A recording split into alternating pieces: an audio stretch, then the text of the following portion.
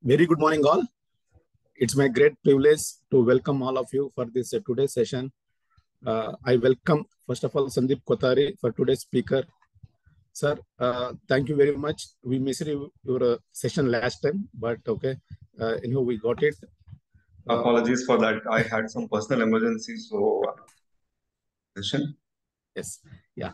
Uh, as you know that in today's scenarios, uh, as a valuer, we need a lot of knowledge uh, in the other acts like Companies Act, Income Tax Act, in other, especially like uh, ESOPs, and understanding that their capital structure, the company's capital structure is very, very important because the clients are looking a lot of knowledge or a lot of information from the valuer before going to assignment.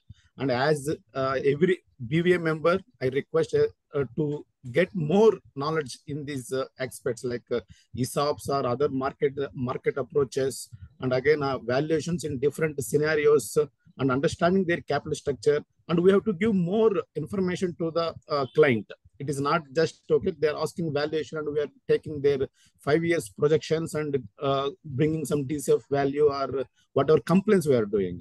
This is very very important to the scenario. Then only the client will get more what to call uh, they, they think that okay they, this, this person is having knowledge and they can provide okay good information on us and when we talk to the client okay they, they are expecting more. And with this now uh, i request uh, shilpa to introduce the today's speaker and start the session. Good morning everyone. It gives me immense pleasure to introduce today's speaker mr sandeep kothari he is a chartered accountant company secretary he has done diploma in IFRS. He's a chartered financial analyst, a registered valuer, and also an insolvency professional. He's speaker on topics related to valuation at ICAI, ICSI, RVO, and other professional forums.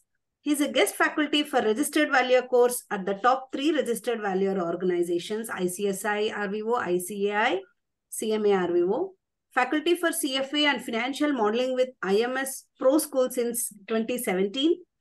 He's spreading financial literacy through articles on personal finance in LinkedIn. Yes, Mr. Sandeep, now I'm curious to follow you on uh, LinkedIn.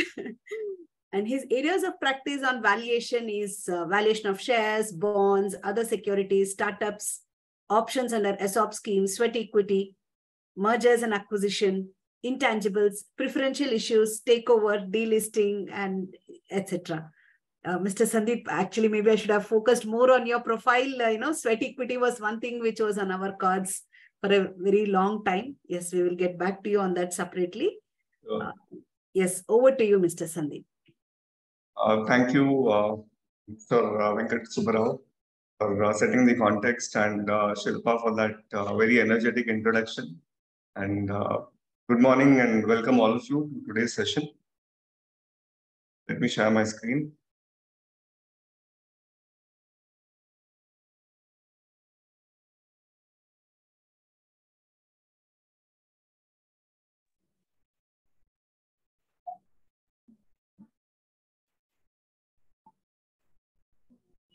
Okay. So is the screen visible? Yes, sir, it is. Yes. Yes, Sandeep. Okay. So today's uh, discussion is going to be on uh, an introduction to the valuation of complex securities. So let's look at the uh, agenda for today's uh, session.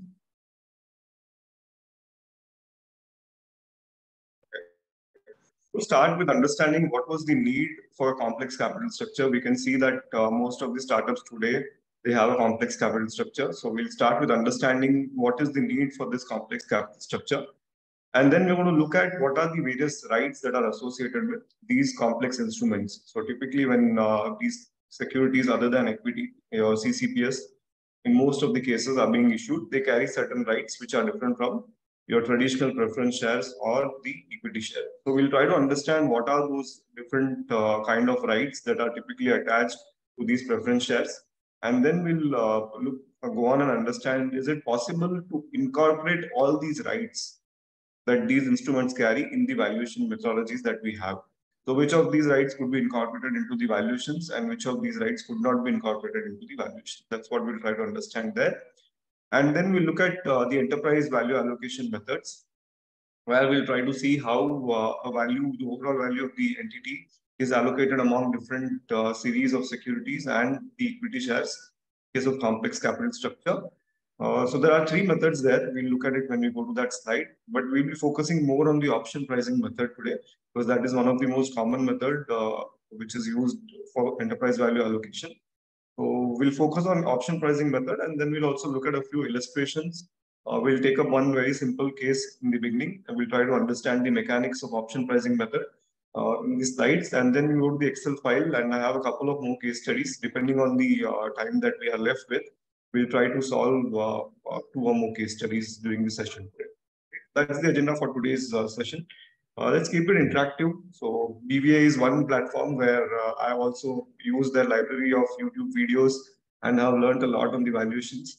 So I'm sure the uh, participants today would be definitely having a great amount of knowledge on the areas of valuation. So let's keep it interactive and make the most out of the session. Let's understand why there was a need for a complex capital structure. Why is that uh, a pure equity or a plain equity share would not suffice or would not serve the purpose of the investors in case of startups?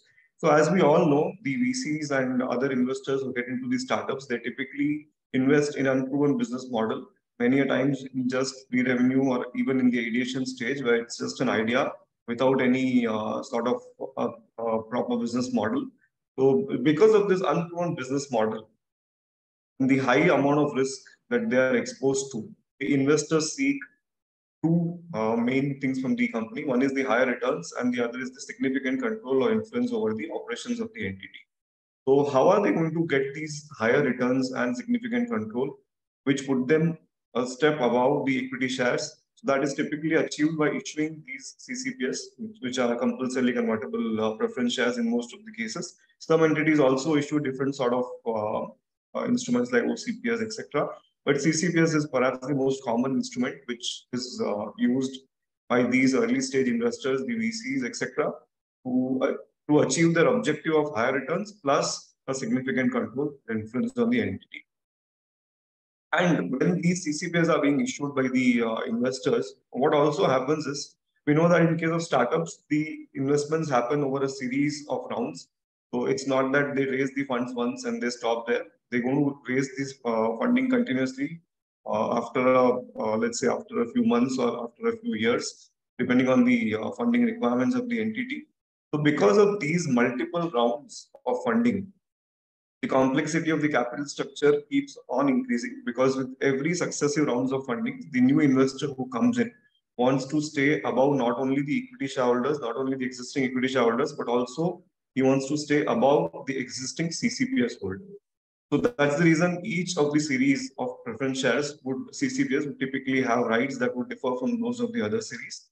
Uh, they would try to put themselves above the existing shareholders, both equity and preference. These rights, in most of the cases, uh, the rights that are attached to the CCPS are substantive, which means they have a good amount of impact on the uh, value that these ones carry, are intensely negotiated between investors, uh, by the investors with the founders and other uh, existing uh, capital holders. So at the same time, when these rights have so much of uh, substantive impact on the entity's value, on the instrument's value, they decide the share in enterprise value of each class of security. The overall uh, value that the entity has, that gets divided in different proportions among these holders of various series of instruments. Right? So the, the agenda today is going to be to understand how these uh, substantive rights could be incorporated in the uh, value allocations among these different different series of shares. So let us uh, look at the rights that are associated with preference shares. I would like to ask the audience what kind of rights you typically see are associated with the CCPS when uh, these new series of CCPS or existing series of CCPS that the startup has. What kind of rights do you generally find attached to these CCPS? If you can name a few rights.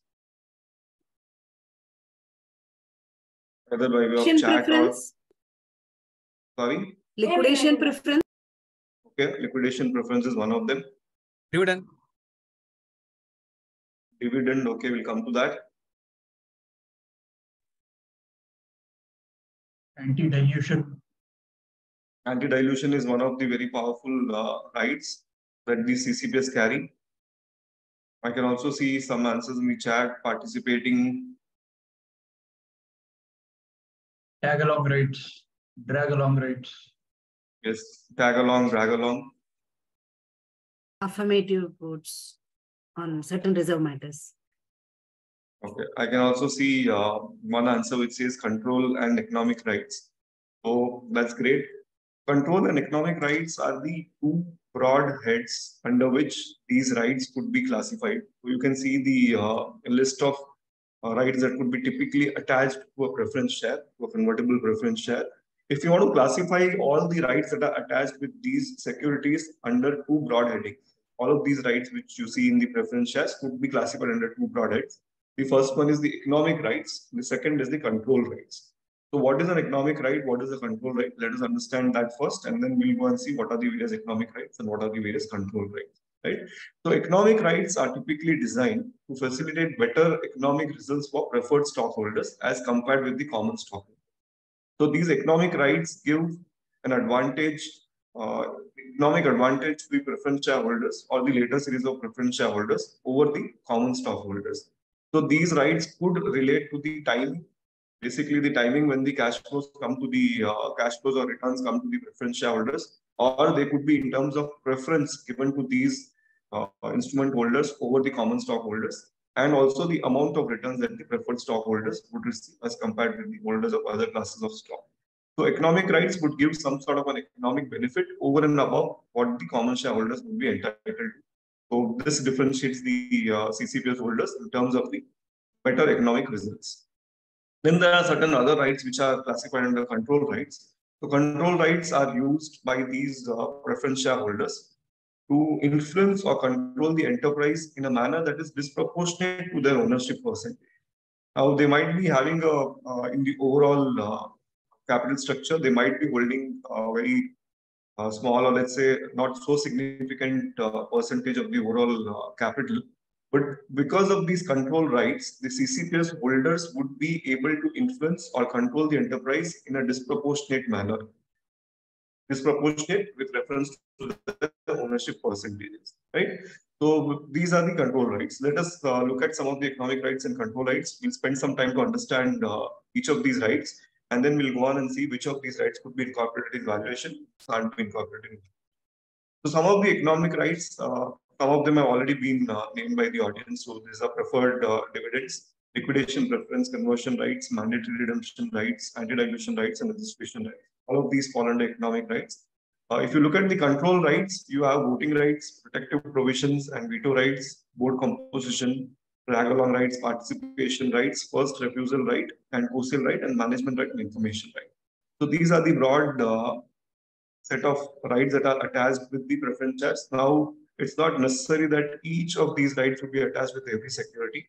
That will depend on the negotiations and what the uh, investor intends to uh, have as part of his rights. So uh, I, I, can see some questions on what uh, registration right is. What we'll do is we'll spend some time, maybe uh, 10 minutes or so, and try to understand more of this economic rights and control rights. So we'll first go into the economic rights, where we have the preferred dividends. Now, if you look at the uh, current uh, way the way the CCPs are structured, the dividends really are immaterial in most of the instruments. You'll see it is 0.001. So this was more uh, relevant with the traditional sort of preference shares. Dividends was one of the uh, key feature. But if you look at uh, the CCPs today, the uh, dividends are generally insignificant. The reason being, the objective is not to take out the money from the startup because the startups are already struggling with the uh, with the funding. So you don't want to burden them further by taking out dividends on a regular interval. Rather, you are interested more in the returns that you would make at a later point of time. That's the reason most of the CCPs would come with a 0.001 or sort of a negligible uh, reference dividend attached to them. Right now, this uh, dividend could either be cumulative or non-cumulative. Uh, if it is uh, cumulative, then uh, if the dividend is not paid during a particular period, it keeps getting added is a non-cumulative, then if the dividend is not declared in a particular year, it lapses. But as I said, this is not much relevant in this uh, context. And coming to the second right, which is liquidation preference, this is one of the key differentiating factor between the preference and common stock. So liquidation preference, uh, it gives first priority rights to preferred stockholders, whenever the entity goes into liquidation, funds that are available, the value that is available with the entity, preference shareholders will be entitled to take out some share out of the uh, available value before equity shareholders get any amount from the available value, right? So another important thing to understand at this point of time is when we say liquidation preference and liquidation event, it necessarily does not mean only dissolution of the entity. Typically, when we say liquidation, uh, we might uh, think that dissolution or when the entity goes uh, bankrupt or something of that sort, the liquidation will uh, come into picture. But liquidation event also includes merger, sale, change of control, or sale of substantially all assets of an enterprise. So apart from dissolution, which could be one of the liquidation events, the other sort of liquidation events include your mergers, sale, change of control, etc. Now, broadly, the liquidation preference could be divided into non-participating preferred and participating preferred. So in case of a non-participating preferred, you would have a liquidation preference. Beyond that liquidation preference, once you receive the liquidation preference that you are entitled to, anything that is left goes to equity shareholders. In case it is a participating preferred, then once uh, you get your uh, liquidation preference, after that, the excess value that the entity has, that will also be distributed among both equity and preference. So that's about liquidation preference. Uh, The other right is the point I had. Okay. yeah. Uh, Yeah. So when this liquidation preference uh, already preference is given, that whatever amount was invested is given back to them. So whatever is equity is kept separate, and then the balance is given between preference and equity, or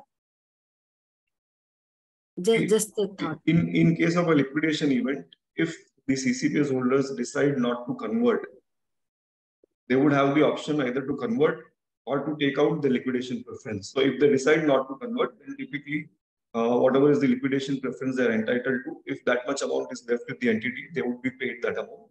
Anything left after that will go to the equity shareholders. If we'll, we'll be seeing in the case studies later, there might be scenarios when they would want to convert.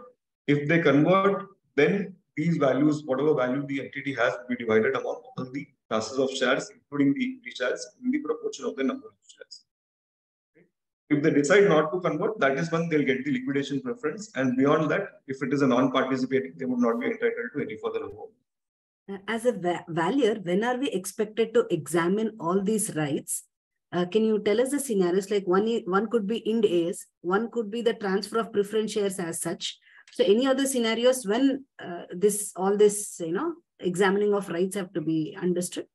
Typically, uh, we do these value allocations, value allocation exercise at the time of uh, financial reporting, as you rightly pointed out in case of Ind AS, where we want to compute the fair value of uh, either the CCPs or the equity shares. The other scenario could be in case of ESOP valuations, where you need the value of equity share as well. So when you're trying to value the ESOP, ESOPs, we take uh, the value of equity and then we try to value the uh, ESOPs or the options that the employees have. So there again, you need equity as one of the inputs. So where we'll have to go and see the capital structure and uh, the uh, the value that the equity shareholders will be entitled. So that is the value which we should take when we do the ESOP value. Okay. So Please the next, know when to launch the poll. uh, okay. It's see. okay. As and when you get that slide, just one, you, you can let me know when to launch. I think some of the poll questions uh, we just missed to launch. So probably then we can take it somewhere in the middle of the presentation or towards the end of the session. Yes, yes. All right.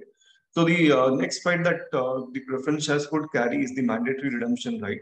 It's a sort of put option where uh, the CCS holders may go and uh, redeem their uh, their investments or their uh, instruments even before the occurrence of a liquidity event.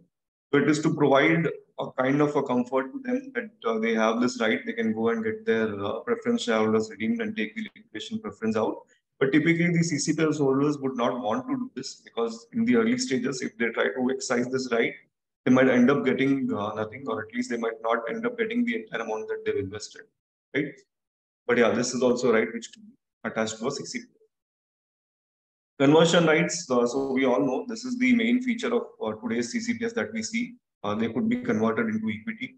Uh, and when this conversion rights come, they also uh, typically have the anti-dilution attached to this. So where we'll see that in case of subsequent funding round that happened, if there's a down round where the valuation is lower than the previous round, then the conversion ratios can also be adjusted in case of the existing CCPS holders. So that's anti-dilution. We'll be discussing more on that. And uh, there could also be an adjustment to the conversion rate for the unpaid cumulative dividends, uh, if any. Typically, we saw that the dividends are negligible, so this right might not be that relevant. But yeah, if the CCPS holders want, we can also have this right. Yeah, this is an important right that many uh, preference shares would carry, is anti-dilution right. So this is uh, this provides them a downside economic Excuse me, your protection. slides are not moving. It's still mandatory redemption rate only.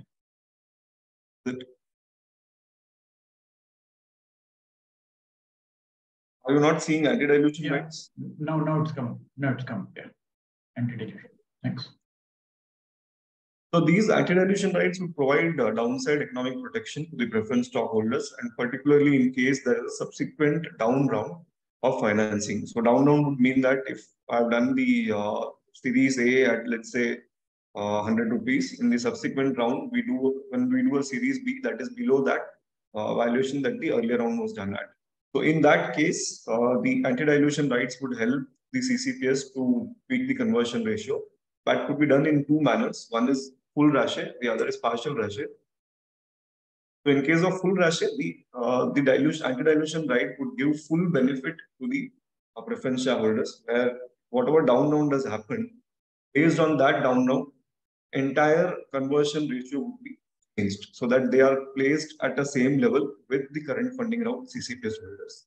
In case of partial ratio, the anti-dilution right would work, but it would not give them full 100% benefit. It would be in proportion of whatever investment is being made uh, in the current round versus what was the investment that was made by the existing CCPS holders in the earlier rounds. So it will give them an anti-dilution benefit, but that will be in some sort of a proportions. In case of full ratio, 100% anti-dilution right will be given to the CCPS holders, existing CCPS. Then there's another right, which is registration right. So this is uh, typically it'll uh, when the startup is not able to complete the IPO within a specified period, certain percentage of uh, preference shareholders can go and uh, pressurize the management, can go and force the management that you make your best efforts and try to bring about IPO and give us a liquidity or give us an exit. Let us discuss the control rights. So these rights that we've discussed are all economic rights. Let us discuss some control rights as well. Uh, Mr. Sandeep, again, your slides are not moving. Okay. Mr. Sandeep, I have a uh, doubt on this anti-dilution rights. Yeah. How would have, uh, exactly what is the anti-dilution, how would the, the CCPS before conversion, after conversion, and uh, where do, what the documentation, uh, how we get uh, executed? Can you give one? Uh, See, all these all these rights which we see here would typically be part of your uh, shareholder agreements and the term sheets. So most of the times, where if, uh, if you want to find out which of these rights are part of the CCPS or which of these rights are not there in the CCPS, uh, you'll have to go and look at the uh, shareholders agreement where all these rights will be listed. So that's why you'll find whether the company or whether the shareholders have these anti-dilution rights or not. So suppose my doubt is, first uh, round one is issued hundred rupees, subsequently it becomes eighty rupees. Whether the conversion ratio has to be increased, is it to the already CCPS allot- allotted? Yes. If there's a down round, if there's a down round. So typically this anti-dilution will come into place when there's a down round. And that is where you'll have to give the benefit to the existing series of CCPS holders.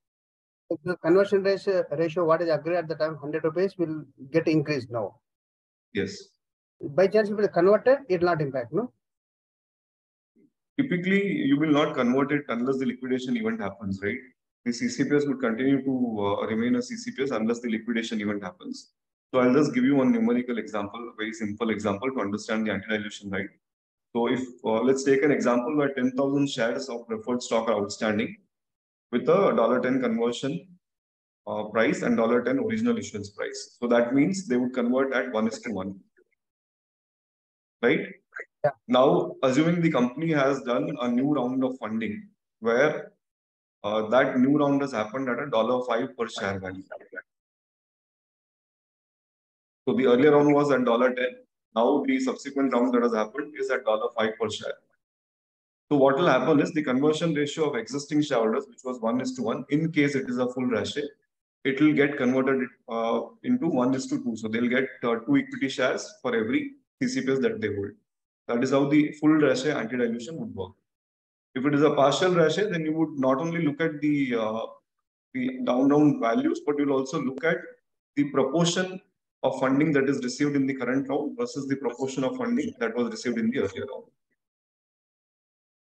It's, it will be in some sort of a weighted average.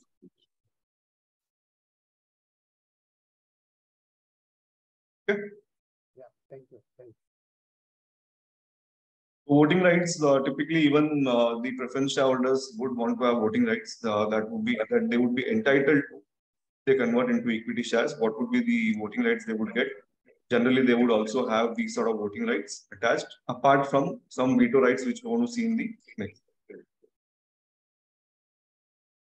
Yeah, so there could be protective provisions and veto rights. There would be certain transactions where uh, the preference shareholders would have the ability to veto those actions.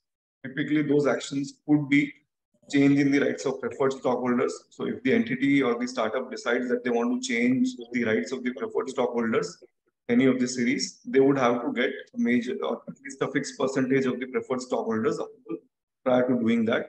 Such approvals could also be required in case of increase or decrease in the number of preferred stocks or creation of a new class or new series of preferred stock because they would impact the rights of the existing rights or uh, the benefits that the existing uh, stockholders are enjoying. In case of M&A, corporate reorganization, change of control, etc., again, it require approval from at least a fixed percentage of preference shareholders. So these sort of uh, give them veto rights. They put them above the equity shareholders. So while typically we would uh, uh, be in a, the equity shareholders would be in a position to make all the major decisions in an entity.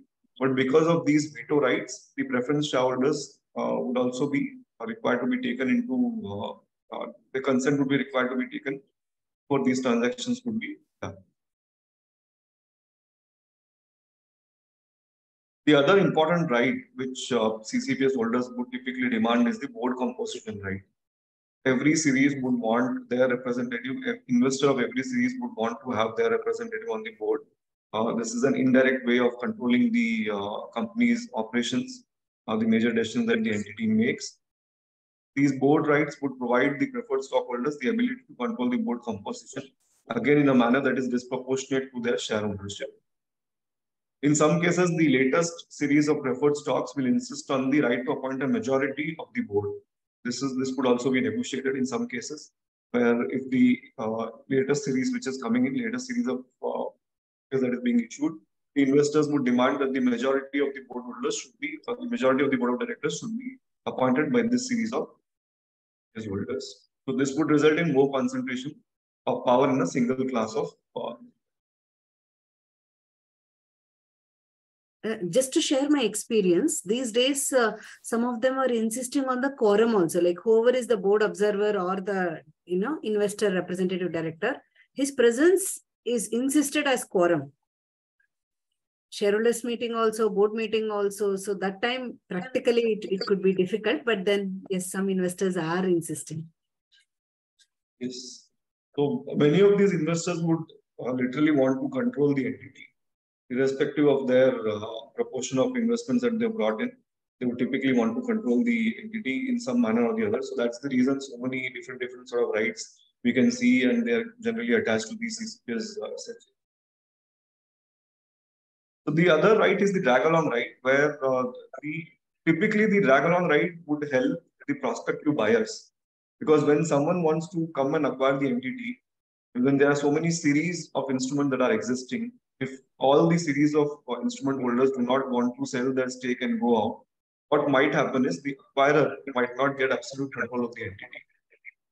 If only certain, let's say out of the four or five series that the entity has, only two series are interested to uh, sell their stake and move out, the other series are not willing to sell their stake, then the incoming investor will not get this control over the entity and he might not be interested to go ahead with this transaction. So that is where you, these along rights would help, where one class of shareholder can compel the other class of shareholders to vote in the manner in which this particular class is uh, voting. So this will help in getting absolute control of the entity. the new acquirer of the entity in case there's a sort of a sale of the entity. The other sort of background of uh, the members, uh, this rights can you can little bit make it faster and you know so that the focus Okay. is more on the impact of the rights. Okay, good. So we'll just quickly uh, finish this off. I think there are actually more uh, rights that are left, and then we'll look at the uh, pricing method. Okay, so the other right is the participation right. So essentially here the preference shareholders uh, would be entitled to participate. The existing preference shareholders would be entitled to participate and purchase shares in every subsequent funding round. The idea is they are able to maintain their proportion in the overall capital structure. Uh, this is first refusal and co-sale right. Some of you said uh, tag along right. So this is the first refusal. The co-sale right is essentially the tag along right. In case of first refusal right, the CCPS holders, the idea of both these rights is that they want to restrict the founders to exit the organization. They want to restrict the founders moving out of the uh, company or giving someone else the rights of uh, these founders. So in case of first refusal, the existing shareholders would be entitled to acquire these shares from the founders at the same price which the third party has given them. In case of a, a tag along or co-sale right, the CCPS holders would also be entitled to offer their shares for sale whenever the founders are deciding to sell their stakes in the company. So management right would uh, give the CCPS holder the inspection rights, the basically to inspect the enterprise books of accounts in detail. There could also be information rights where uh, the CCPS holders would demand for uh, a set of uh, fixed templates of MIS, monthly MIS, quarterly MIS, or some sort of financial data, uh, which the equity shareholders might not be entitled to. Apart from the annual reports which the company publishes, the CCPS holders might require some uh, monthly MIS or quarterly MIS from the company. Okay, so that brings us to the end of the uh, rights which the CCPS holders might have, the economic and control rights. The next question is, can I incorporate all these rights into the valuation? So what, what are your thoughts? Is it possible to incorporate all these rights that we have discussed, all the economic rights, all the control rights in the valuation? Is it possible to do that? What do you think? Or which of these you think could be incorporated, which of these could not be incorporated? Economic rights can be incorporated, but not control rights.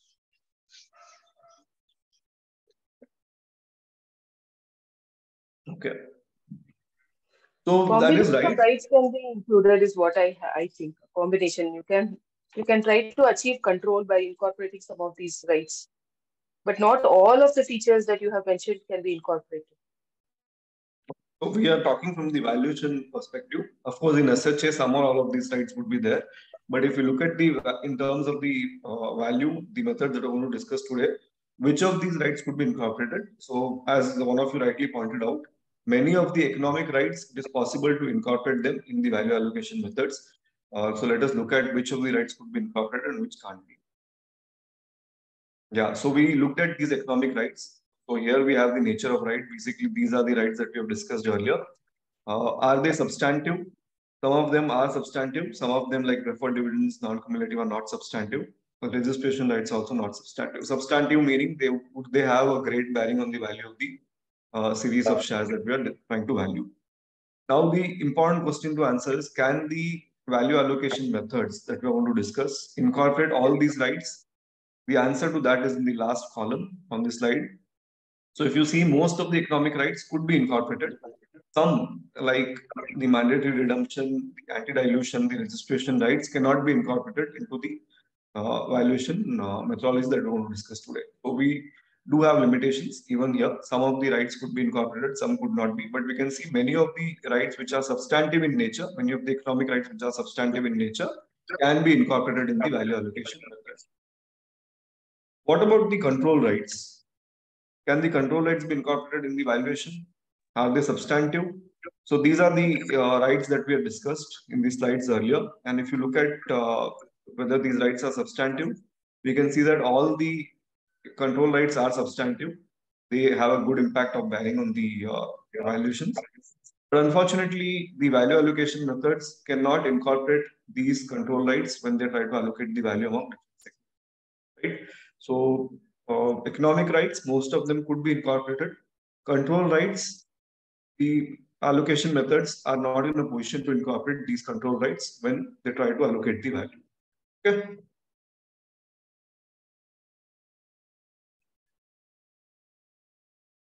So then with these substantive rights, we have discussed uh, so many different uh, rights that the preference shareholders could have as part of their SHAs. So once these rights are brought into the SHA, they definitely give an edge to the CCPS holders over and above the equity shareholders.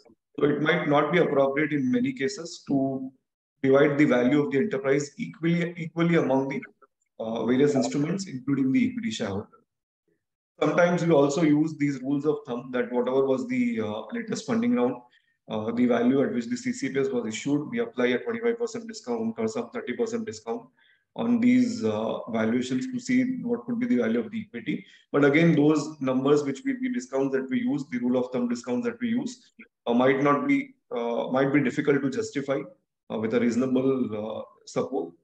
So that's the reason it's better to go for a proper value allocation method where uh, the rights are incorporated and we can see that there's a difference in the value of different fees of instruments. So how do we then go about allocating the value among the different series of uh, uh, instruments that the entity has? So what do we mean by value allocation? First, let's make that clear. So when we are talking about the enterprise value allocation methods here, we are not talking about the valuation of the entity itself. The valuation of the entity would be done in your usual uh, uh, methods like the market income or cost approach, whichever method you choose to apply. You may apply the DCF or the market approach uh, and figure out the value of the entity. Once the equity value is derived, that is where these enterprise value allocation methods come into picture. So we try to figure out how that overall value of the entity has to be distributed among these different series of uh, instruments which the entity has issued. So that could be achieved by way of three methods. One is the probability weighted expected return method. We also call it PWERM. The other is the option pricing method and then this current value method there are different uh, scenarios when typically these one of these method would be applied to uh, figure out what would be the uh, how how should the allocation of the overall value be done over the various instruments that the entity has. now, one of the key uh, characteristics, one of the key uh, point that will help you to decide which method could be appropriate is the timing left or the timing that you feel is left for the liquidity event. If you feel the liquidity event is imminent, it's going to happen uh, uh, immediately now or within a very short time, when a current value method is typically preferred, where you go and see what could be the value of each instrument if the entity goes and it's a liquidation event or liquidity event today. But most of the cases, we might not be at that level where we are about to go for a liquidity event. That's the reason typically we don't apply current value method. And the other method that could be used is the probability weighted expected return method. This would typically be applied when we feel that uh, there are few years or very uh, the liquidity event is not going to happen immediately, but there's only a short time left for the liquidation event to occur. In that case, we might again use the PWERM method. In most of the cases that we encounter today, we see that there's still a long time left for the entity to, entity to go for a liquidity event. Uh, and that's the reason we go for option pricing method. So in an option pricing method, the various series of instruments that the entity has are treated as call options. And based on the BSM, the Black-Scholes model, we try to understand what could be the value of each of those series of instruments. So as you can see, well, let me just quickly run through this slide as well. In, in a probability weighted expected return method, the value is based upon the probability weighted present values of each class of shares. So we try to find out under different different liquidity scenarios. What if it's an IPO? What if it is an uh, sale of the entity? What if it is dissolution of entity? What would be the value of each instrument? And then we assign probabilities and try to get a probability weighted uh, value of the each series of instrument. In case of option pricing method, as I told you, we treat each series as a call option on the enterprise value or the equity value that we've already derived and then we try to find out what could be the value of each of the series of instruments. In the current value method, allocation of value to various series of preferred stock based on the liquidation preference or conversion value, whichever is greater, assuming the liquidation event is happening on the valuation date. If today the liquidation event happens, what would be the value of these different different series of instruments from the current value method? Our focus today is going to be on the option pricing method. Uh, so as mentioned in this slide, no single method appears to be superior in all respects. So depending on the circumstances in which the uh, entity is, you would have to uh, probably choose with which method would be appropriate to use. But most of the times, option pricing method is chosen for value allocation. So uh, as I told you, option pricing method is not a method for determining the value of the business enterprise. It is rather a tool for allocating the total equity value to individual series of instruments that the company has. It considers the preferred and common shares as call options on total shareholder equity value. And uh, it, while doing that, it considers the rights and preferences of each class of shares. We saw some of the rights that could be incorporated. This method would incorporate. Uh, some of the rights that could not be incorporated, for example, the control rights, uh, even the OPM method would not be in a position to incorporate those control rights in the valuation. Okay, so we'll take up uh, one very simple illustration to start with and try to understand how the OPM works. So I request all of you to read through this uh, illustration.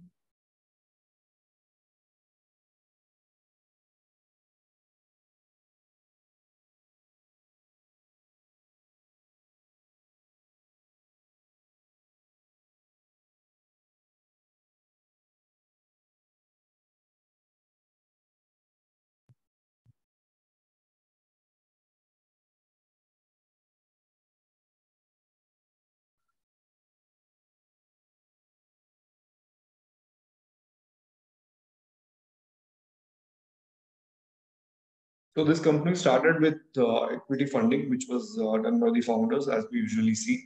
And then after a point of time, they went in for another uh, Series A convertible preferred stock, uh, which was issued to venture capital. And it has a conversion ratio of 1 is to 1. Issue comprised of 1 million shares convertible into equity in the ratio 1 is to 1. The preferred shares were issued for 35 per share. With total proceeds to the company of 35 million. So in November 22, the company retained service of valuation firm to determine the fair market value of its common stock. The company has decided an enterprise value of 50 million. So this 50 million is the value of the company. So I'm writing enterprise value here, but effectively it means the equity value. Uh, they want us to value the equity share. So these are the other uh, rights that are attached to the preference shares, the Series A preference shares, in addition to the conversion that we've already seen in the previous slide. Maybe you can go through this as well quickly.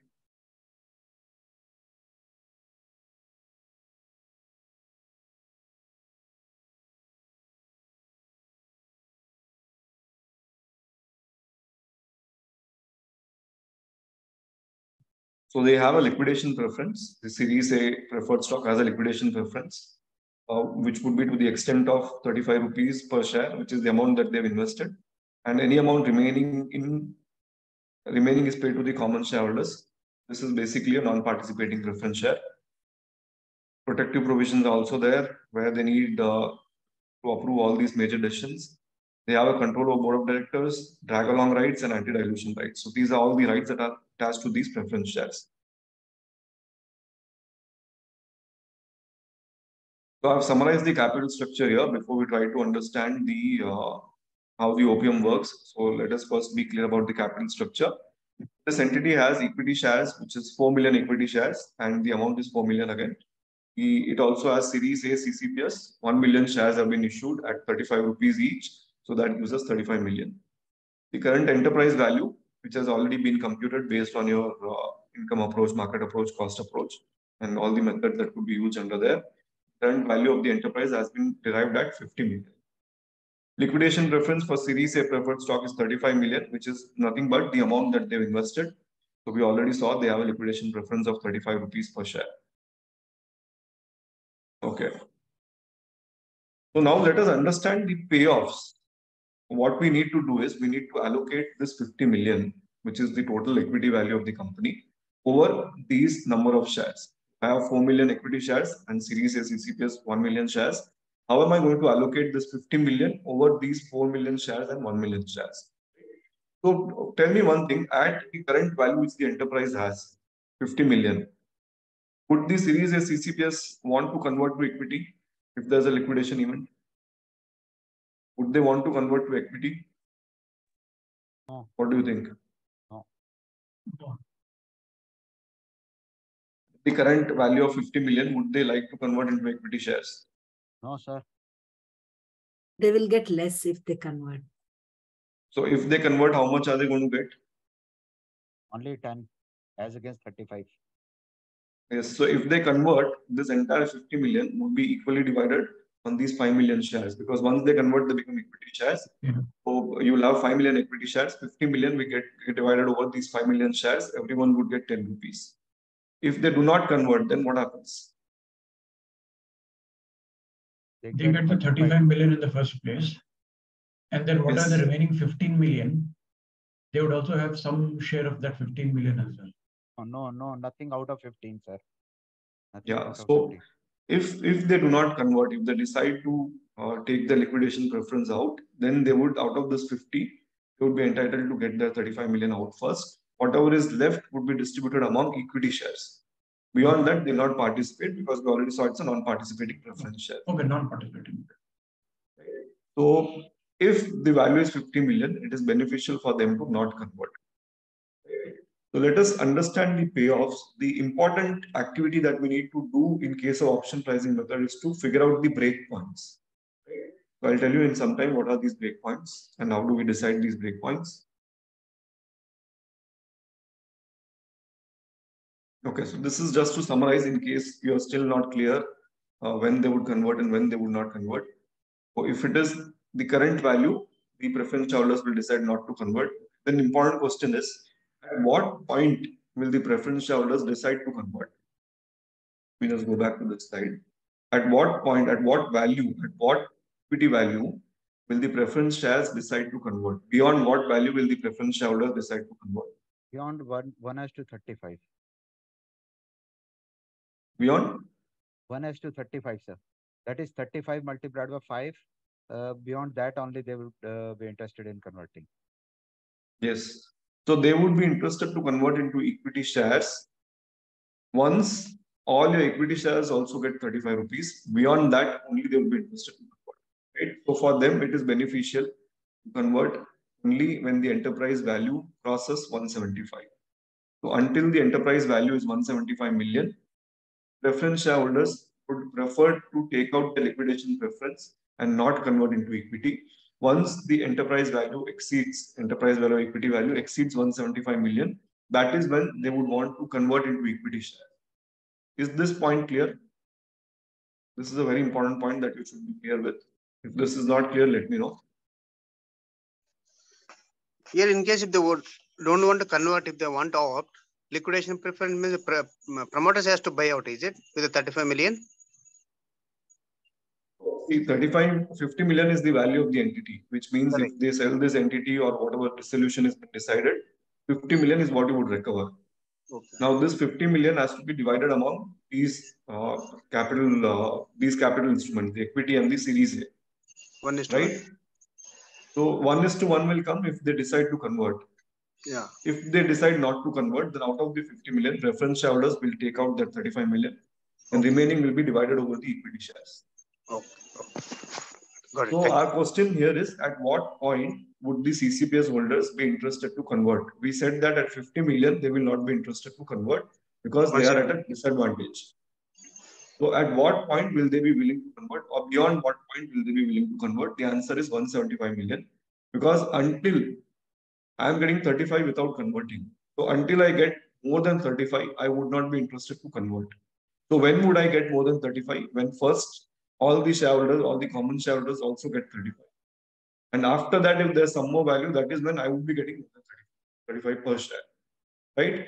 So we are saying that the preference shareholders would be interested to convert or it will be beneficial for them to convert only when the equity value or the enterprise value exceeds 175 million.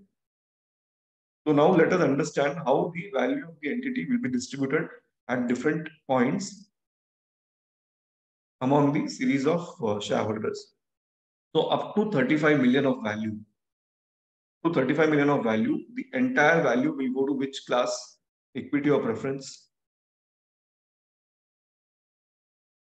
Up to 35 million of the entity value. Let's say Preference, preference. Yeah, if the value of the entity is 35 million, it will go 100% to preferred shareholder. Right? We have particulars, value, and distribution here. So first payoff would be up to 35 million. The entire value will go to the preference shareholders. So 100% is goes to preference shareholders. So we are trying to create the breakpoints. This is the slide which will help you to create the breakpoints, which are essential in the OPM exercise. So I've taken this uh, example here with only one series. We'll uh, in the PPT we'll do this, and then when we go to the Excel exercise, I've taken uh, an example with multiple series of right. So we're just starting with a simple Third one. payoff also, can you little bit explain? Third payoff. Yeah, yeah, I'm explaining all of this. I'll be explaining all of this. So second payoff is from 35 million to 175 million. 175 million, we are saying the preference shareholders will not convert. So from 35 million of value to 175 million, the entire proceeds will go to the equity shareholders, 100% to the common shareholder. Is this fine? Payoff one, payoff Yes, two, any yes. doubts? Yes, clear. Okay. Now, after 175 million, so we are saying that once the entity's value crosses 175 million, that is the point when the CCPS holders would like to convert into equity. And once they convert into equity, when the liquidation preference goes off, what will happen? Whatever is the value that entity has will be divided among the preference and equity shareholders because they've also converted into equity. They've now become equity shareholders. So they'll be at par with the equity shareholders. In that case, in our example, let me just go back a few slides. Yeah, in this example, if the CCPS holders decide to convert into equity, we have the number of shares here. So all these 1 million will convert into 1 million equity shares. Then in what proportion will the value be divided between equity and CCPS? What would be the proportion in which the value will be divided between these two? Yeah, 80 and 20%. Yeah, How do we get that 80 and 20? 40 and 4 is to 1. Yeah. So 4 is to 1 because now the value, once they convert, the value will be equally distributed among both of them. So you can take the ratio on the basis of number of shares. Typically, it is on the basis of number of shares. So these are going to convert 1 is to 1. So you can straight away take a ratio of 4 is to 1. So we need to bring in the conversion ratio here. And based on the conversion ratio, you decide what proportion will go to which instrument. So here, it is 4 is to 1. And that is how we got this 80 20.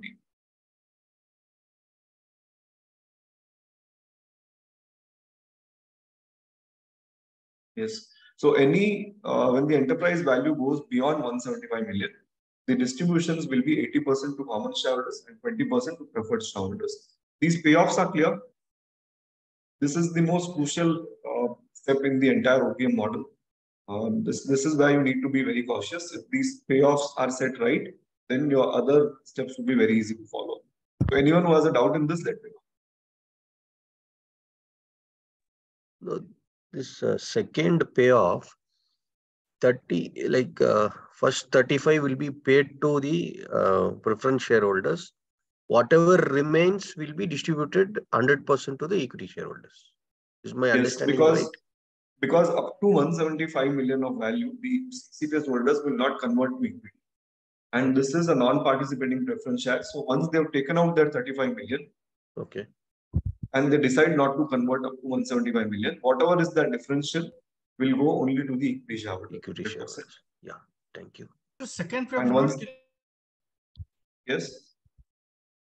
Second payoff not clear. I'm a little confused. Second payoff. Enterprise to Yes. common shareholder, how it will. Okay, so if the company's value is crossing 35 million, but it does not cross 175 million, Okay. in that in that zone, will the preference shareholders convert into equity? Will it be beneficial for them to convert? Because in the earlier slide we saw they will Oh, convert only Yeah, yeah, got it. Thank you, 175 thank million is achieved. Yeah, okay, got it, got it. Okay. So once you are fine with the payoffs, okay, I've also got this chart here. So some of you might be comfortable with these charts. You can have a look at it. It's again the same distribution of value among the different series. You can see that up to 35 million, the amount goes entirely to preferred stock. These gray are preferred and blue, uh, sort of blue color shade, common shares. So up to 35 entirely it goes to the preference shares. From 35 to 175, whatever value is uh, there with the entity, that will get distributed 100% common. And anything beyond that, beyond 175, would go to 80% common and preference. Right? the table was not clear, maybe this will help you to clarity on it.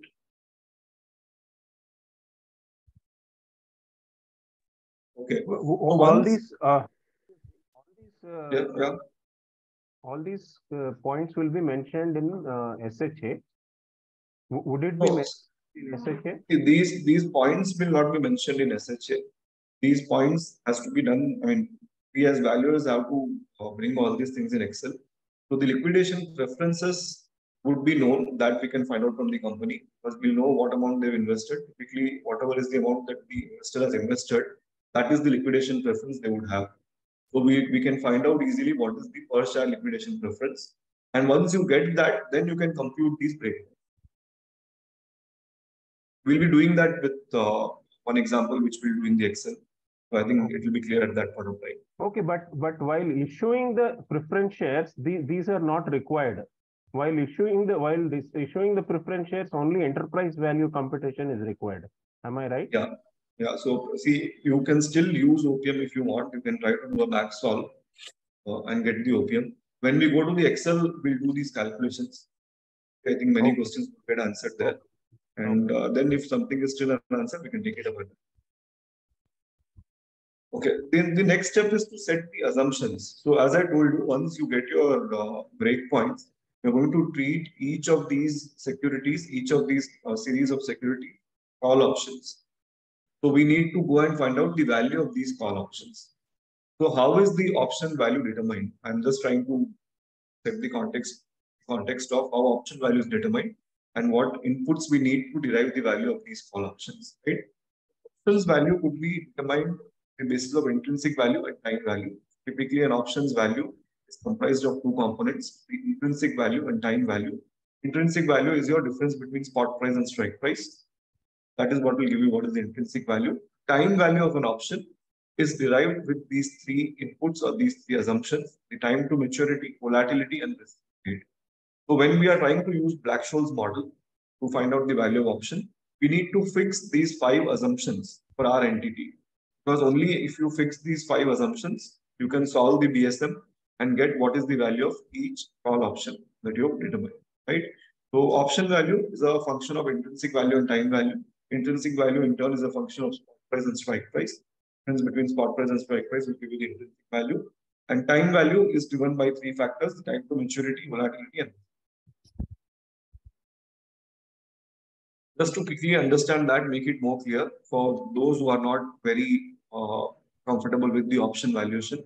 I put this simple uh, example here. Let's just quickly understand this. Let's consider a six month call option with the strike price of 90, written on a share with a current stock price of 100. So the strike price or exercise price is 90. The price of the stock today is 100. Assuming the uh, option is expiring today, what would be the value of this call option according to you? This option is expiring today, what would be the value of this call option? 10 rupees. It will be 10 rupees because something that is worth 100 in the market, I can buy it for 90 rupees. So this option has a worth of 10 rupees, the fair value of the option. So at expiration, the value of the option would typically be only the intrinsic value, which is spot versus strike price. You compare them, get the value of option. And any time before the expiration, the time value factor also comes into picture, right? So let us understand that as well.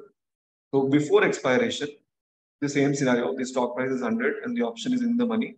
It will be excised. The value of the option will exceed 10 because there will be some time value component that will also get added. So how do we incorporate the time value of money? The share price is remaining the same. This strike price, which would be paid at expiry, I need to convert that to present value, right? So if I want to convert the value, if I want to compute the value of this call option at inception, let us say at inception, not at expiry, and we say the share prices are going to remain constant, just a theoretical assumption I'm making here. The stock price is going to remain constant over the tenure of this option contract. The only thing that will change in this formula is the strike price because I'm going to pay the strike price six months later. If I'm computing the value of the option today, I need to convert that strike price into present value, right? So that can be done by using your uh, six months is the tenure of this option and 10% is the discount rate. So you will discount this 90 rupees for six months with a 10% discount rate. I've done a continuous discounting here. You can take this formula and you'll get a value of 14.39. 10 rupees of intrinsic value. sir. One Yeah. question. In the before expiration valuation, the T is equal to 0.5. How did you get that? R I understand is 10% per annum. T is equal to Six 0.5, that 90 e raised to 0.5 zero. is, is six months. Six months. So that is your 6 by 12. This, this is a analyze it. Six this is a per annum. year. Yeah, Six this is a per annum year. discount rate. Yeah, this is a per annum discount rate. Okay. Uh, but this contract is for six months. So we've just taken six. Okay. Uh, and one small uh, point here. Uh, R is risk-free rate in this particular thing, right?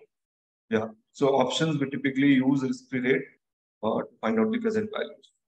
And also we use continuous discounting and continuous compounding in case of it's not your simple discounting and simple. That's the reason you see e to the power here. Okay, so in this example, now the second component which we have is, uh, so in the second, before expiration, we've got a value of 14.39.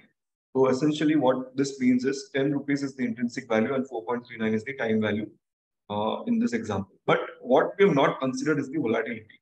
Our assumption was that the share price remains 100 throughout the life of this contract to the expiry of this option contract, which would not be true in case of in a practical scenario.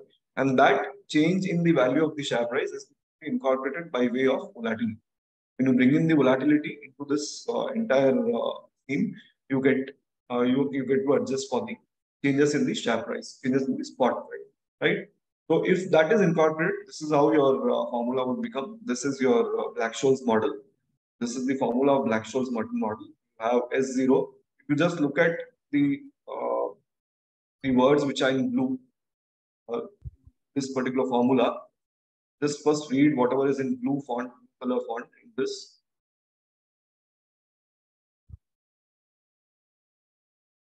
So you would realize that this whatever is in blue font is nothing but what we saw in the previous slide. I read my spot price minus present value of excise price. That is what we did in the previous simple option pricing example.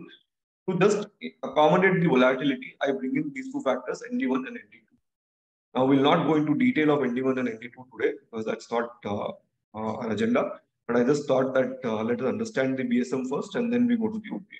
Because BSM is going to be used to solve all those call options or those breakpoints that we have discussed earlier. So this BSM is clear. We bring in this ND1 and ND2 here the earlier formula. This ND1 and ND2 would incorporate the volatility as well into the BSM. Okay, so we need to fix those five assumptions that we saw earlier. So option value is derived from five assumptions. So we need to fix those five assumptions and only then we can start solving for the call options. So the first assumption is the underlying security price. Now, in case of an option pricing model, the underlying security price is nothing but the equity value of the enterprise, the equity value of the company, which was 50 million in our example. Right? Is this clear? First assumption. The underlying security price or spot price that we're talking about, that is nothing but the total value of the entity, which is 50 million in our example. The other assumption that Just we one need is small uh, clarification. This is the enterprise value, cash debt adjustment, equity value, right? Yeah. So in this discussion today, wherever I say enterprise value, that also means equity value.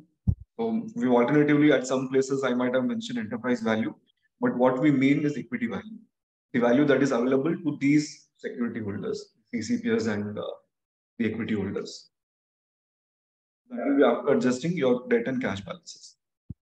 So that is our first assumption. The second assumption that we need to fix is the exercise price. Now, these excise price is what we get based on the allocation of value that we did. So in the next slide, where you see when we solve the BSM, these excise prices would be nothing but those breakpoints that we decided in the earlier slide. The allocations that we did in the earlier slide, where we said from 0 to 35, it will go to the preference, 35 to 175, it will go to equity, and anything beyond 175 will go in 80-20 ratio. So those 0, 35 and 175 would become our excise price in this example. These are the liquidation preferences and conversion values. Is the second assumption clear? How we fix this assumption? There's any doubt anywhere? Time to expiry and volatility, I would say these are the two very uh, complex assumptions. In fact, very subjective assumptions that we need to make when we use the OPM or even when we use the BSM for ESOP's valuation for that matter. So in case of OPM, this time to expiration is typically the uh, the assessment of the value of when the entity will reach the liquidation event. So uh, from today, how long will it take for the entity to achieve the liquidation event, which would be a sale or an IPO or a distribution or whatever it is, right? So this assumption is this is a subjective assumption, as I told you. It's based on the uh, various factors. Typically, what factors you should look at if you're trying to estimate this? You should look at the company's life cycle stage, the funding needs, and strategic outlook. Which stage the company is? If it is in just the ideation stage, then probably the time to expiration will be pretty long. It could be even 10 years or 20 years. It will be pretty long. If the company has already reached a sort of a matured stage, it has break even, it has got a good amount of scale, then the liquidation event might, uh, in a very shorter time, could be four, five years also. And also on the funding needs, Respectfully, if you could uh, repeat exercise price. Okay, I'll let us finish this and then I'll repeat. Thank you. So depending on the assessment of the life cycle of the company, in the life cycle, where is the company today? The, what are the funding needs? Does it need small, small fundings or will it have to go for IPO and take a big funding? And the strategic outlook, how the management looks at the uh, providing the exit to the existing investors. Are they uh, having plans to do it in a uh, in a near term or it's going to be a long time they go for it? So based on those factors, you can determine what could be the liquidity uh, time to liquidity event. In this case, I've taken it at five years. So we've seen that uh, we have some examples now. For example, companies like Zomato, uh, One, Fintech. one doubt. Yeah, In case, in case of ESOP, this is an uh, vesting period, no? ESOP valuations, time to expiration. in case of ESOPs, yeah, it will typically be yeah when when this could be excised. yeah, okay. So yeah, so in this case, I've taken it five years. But if you see today, we have at least some examples uh, in in India also. We have companies like Zomato, Paytm, PB Fintech, which which were startups and which have got listed. So we might use them as a sort of example to substantiate our assumption here.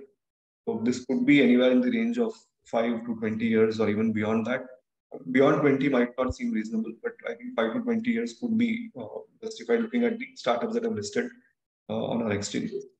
The other assumption which we need to make is volatility. Again, just like the ESOP uh, valuations, we need to figure out what the appropriate volatility. For listed stocks, it is easy to get volatility.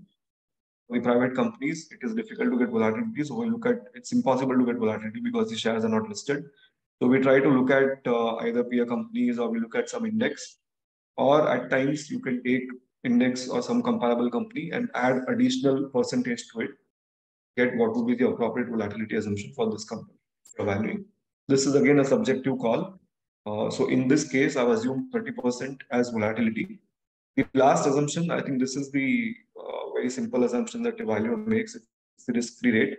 So you need to look at, uh, depending on the time to expiry that you've assumed, what would be the uh, bond yield, the government bond yield or the risk-free rate for that tenure. If you assume the time to expiry of five years, then you go and refer a five-year bonds yield if you assume time to expiry of 10 years, then you go and look at the 10-year bonds risk-free rate.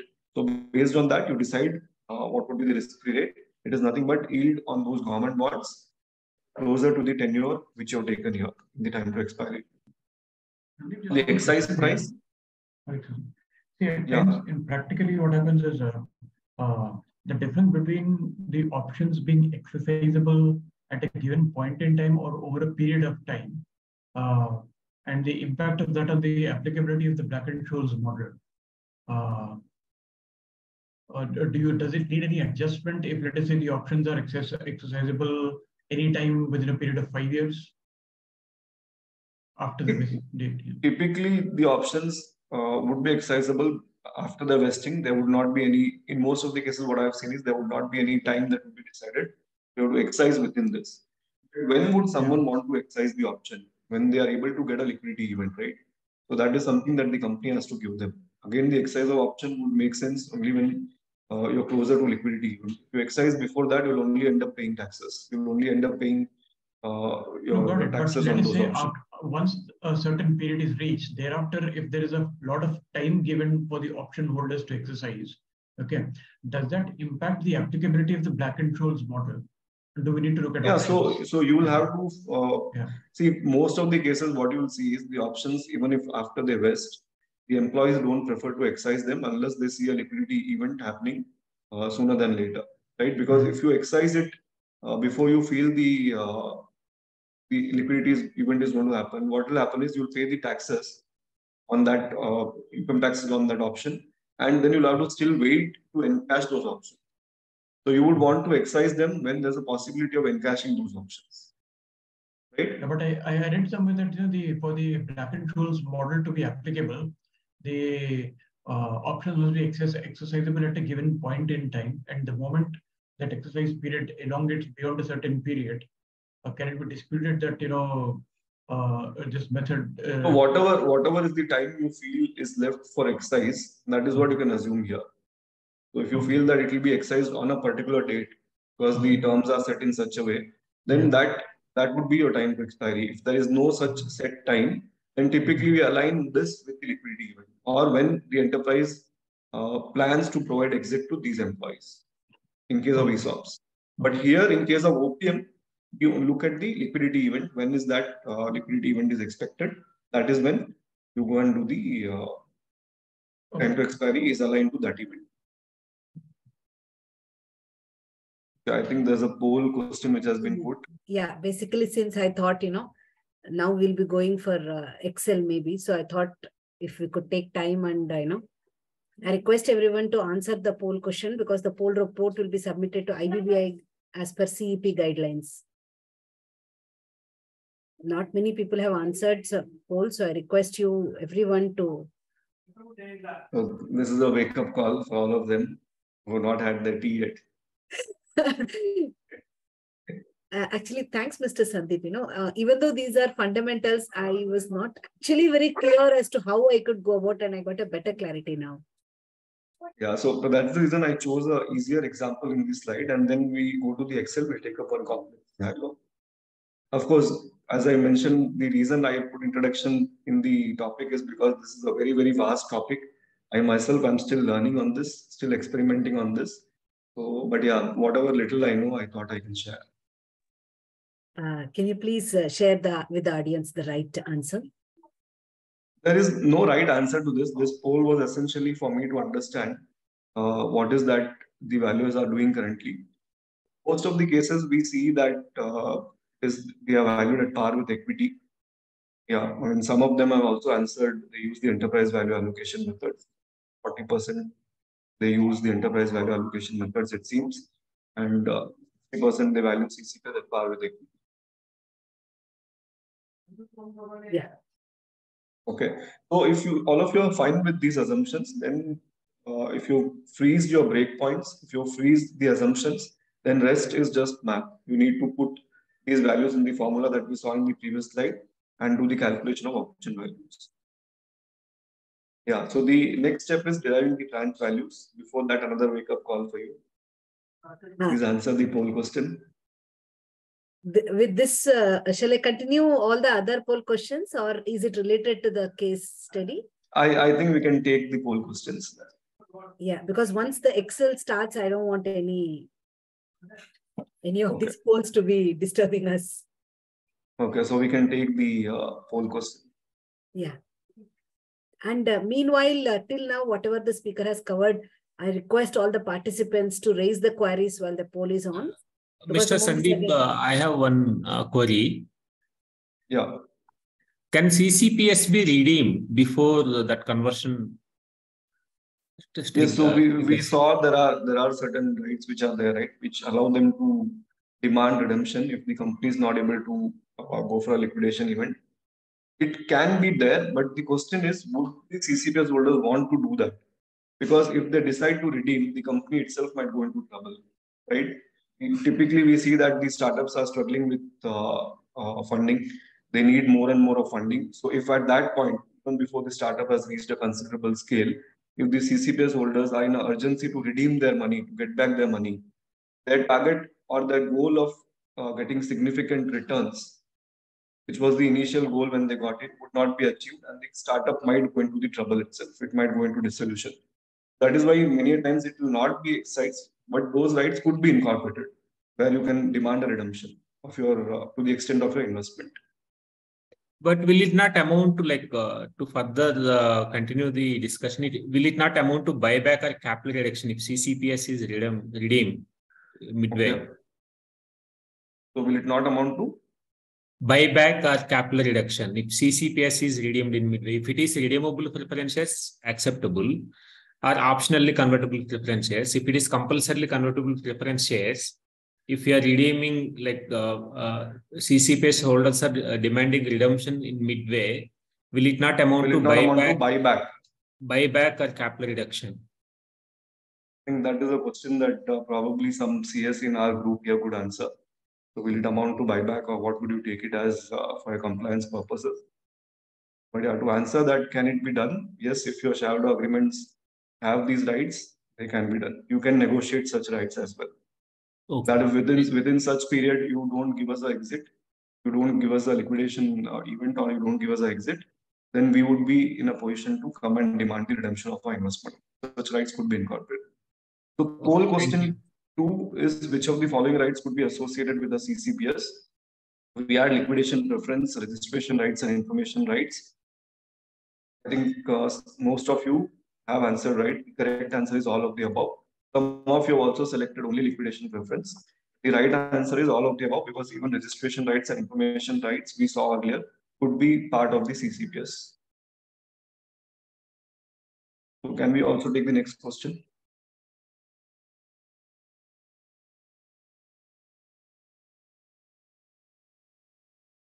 Yeah, can you answer the third poll question, please? Sandeepji, I have a question. Yeah. So Sandeepji, whatever uh, right now what we are discussing the option pricing model, or uh, for uh, for example the companies issuing the OCD or the OCRPS, then when the company is issuing the shares or the CCD or OCD, then at that point of time we have to value only the equity and the investor in their financial statement. As per the Ind AS, they have to value using this method. Is that the understanding correct? No, see, Ind AS valuation would come when you have invested in other entity uh, in, in terms of these securities. That's when you need to find out the fair value for reporting purposes. At the time of issuance, what, as per my experience, what I've seen is most of the valuers, Uh, they decide to equally divide the value among all classes of shares. And when we go to the Excel, I'll also tell you that in many cases that might also be appropriate. But you can still use a backsolve method and try to figure out what could be the value of the equity, or what could be the value of a particular series of CCPS at the time of issuance. We'll discuss that when we go to the Excel. Okay, sure. Numbers.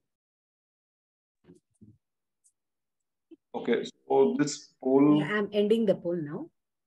Yeah, so which of the following rights allow the preferred stockholders to purchase shares from founders? Uh, I'm not seeing the answers given by the participants. Okay. Participants got confused. Okay. So we already discussed this in one of the slides. That's the reason I had to wantedly put the rights on slide and discuss because many a times these rights are also confusing. So this, in this case, we are discussing the right which allows the preference stockholders to purchase shares from the founders at the price offered by a third party. So that right is the first refusal right. So if the founders want to sell the shares to third party, they get some X, uh, X piece per share of offer. The preference shareholders will have an option to buy those shares at the same price. If they don't want to, then the founders are free to sell to any third. First refusal right. I think there are two more questions. You want to take them now or towards the end? No. The next question is very straightforward.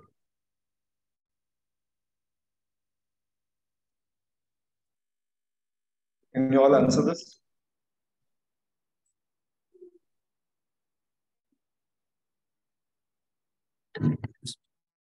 Mr. Sandeep, I have a question. Yes. Uh, while we are trying to derive the uh, value of each security by way of, uh, you know, uh, component wise, first we need to determine the, the value of the entity at the point of liquidation, like uh, at the at the event of liquidation, right? Then only we are going to, you know, enter No. those values. So you don't have to uh, find out the value at the point of liquidation. You have to find out the value of the entity today. So just like when you're valuing the uh, entity using your DCF or comparable company method or a comparable transaction method, it's the same exercise. You don't have to do any different exercise here. You first derive the value of the entire entity. This exercise will help us to allocate that total value among different classes of shares. So with your usual way in which you decide the value of the entity, you don't have to look at the liquidity event. The way you determine the value of the entity uh, while doing the uh, issuance of shares, that is how we determine the value of the entity even in this. There's no difference there. Okay, right. Thank you. So this question was, can all the rights be incorporated in valuation of CCPS? So yeah, the answer to this is only economic rights can be incorporated because as we saw earlier, uh, most of the control rights, in fact, any of those control rights cannot be incorporated into the uh, valuation or allocation of value among the CCPS. It is only the economic rights which could be incorporated. And in economic rights also, there are some which could not be incorporated. So the right answer to this is option C, only economic rights can be incorporated. Can we take the last question as well? Excuse me, Sandeep. Yeah. Uh, Can you, uh, Go ahead, Um, meanwhile, others can answer this question. Yeah, Uh, ma'am, you can can you- ask a question. can you explain uh, drag along light a little more? Just finish this poll, then we can go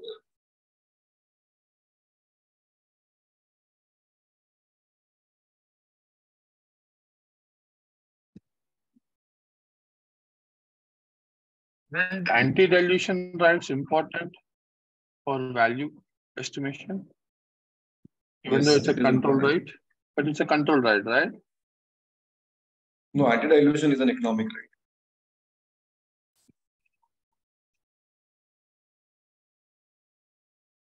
Okay, so can you answer this question? Let's close the poll.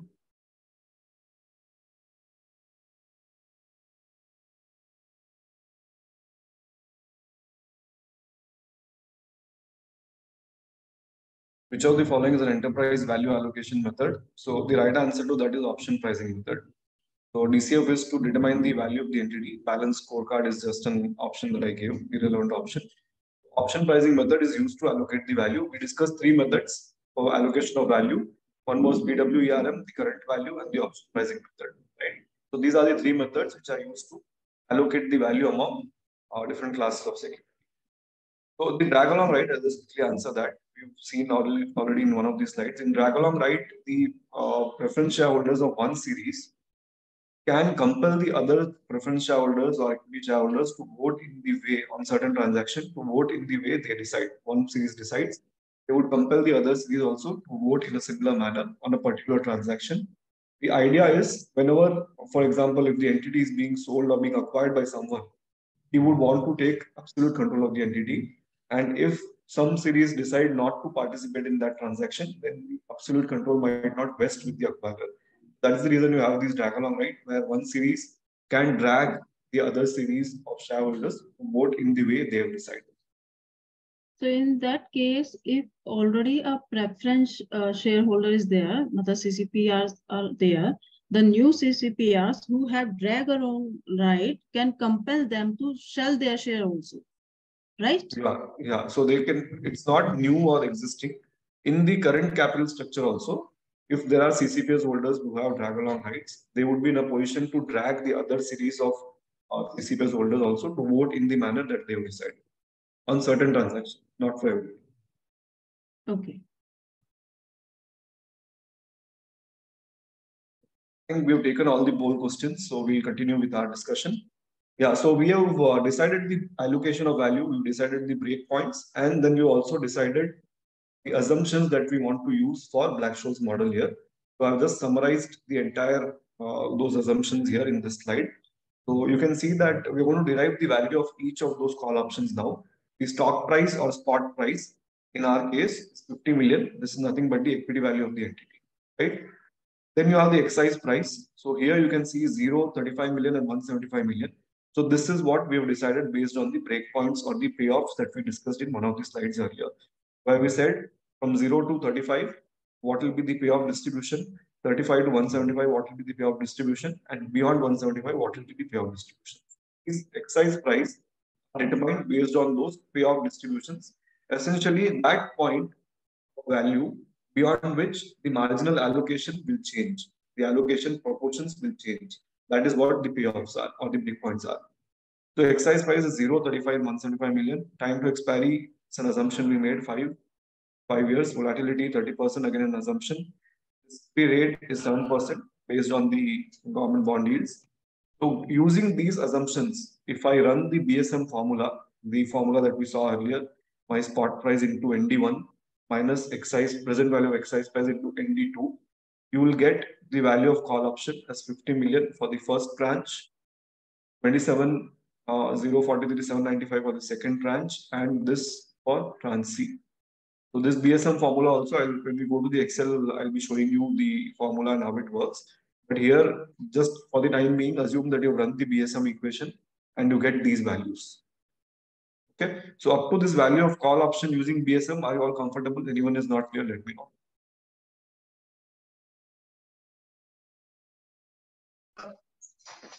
In tranche A, call option is 50 million, is it? Tranche A, yeah, the value of call option is 50 because the excise price is nil, the stock price is 50, so it becomes 50 million here. Right?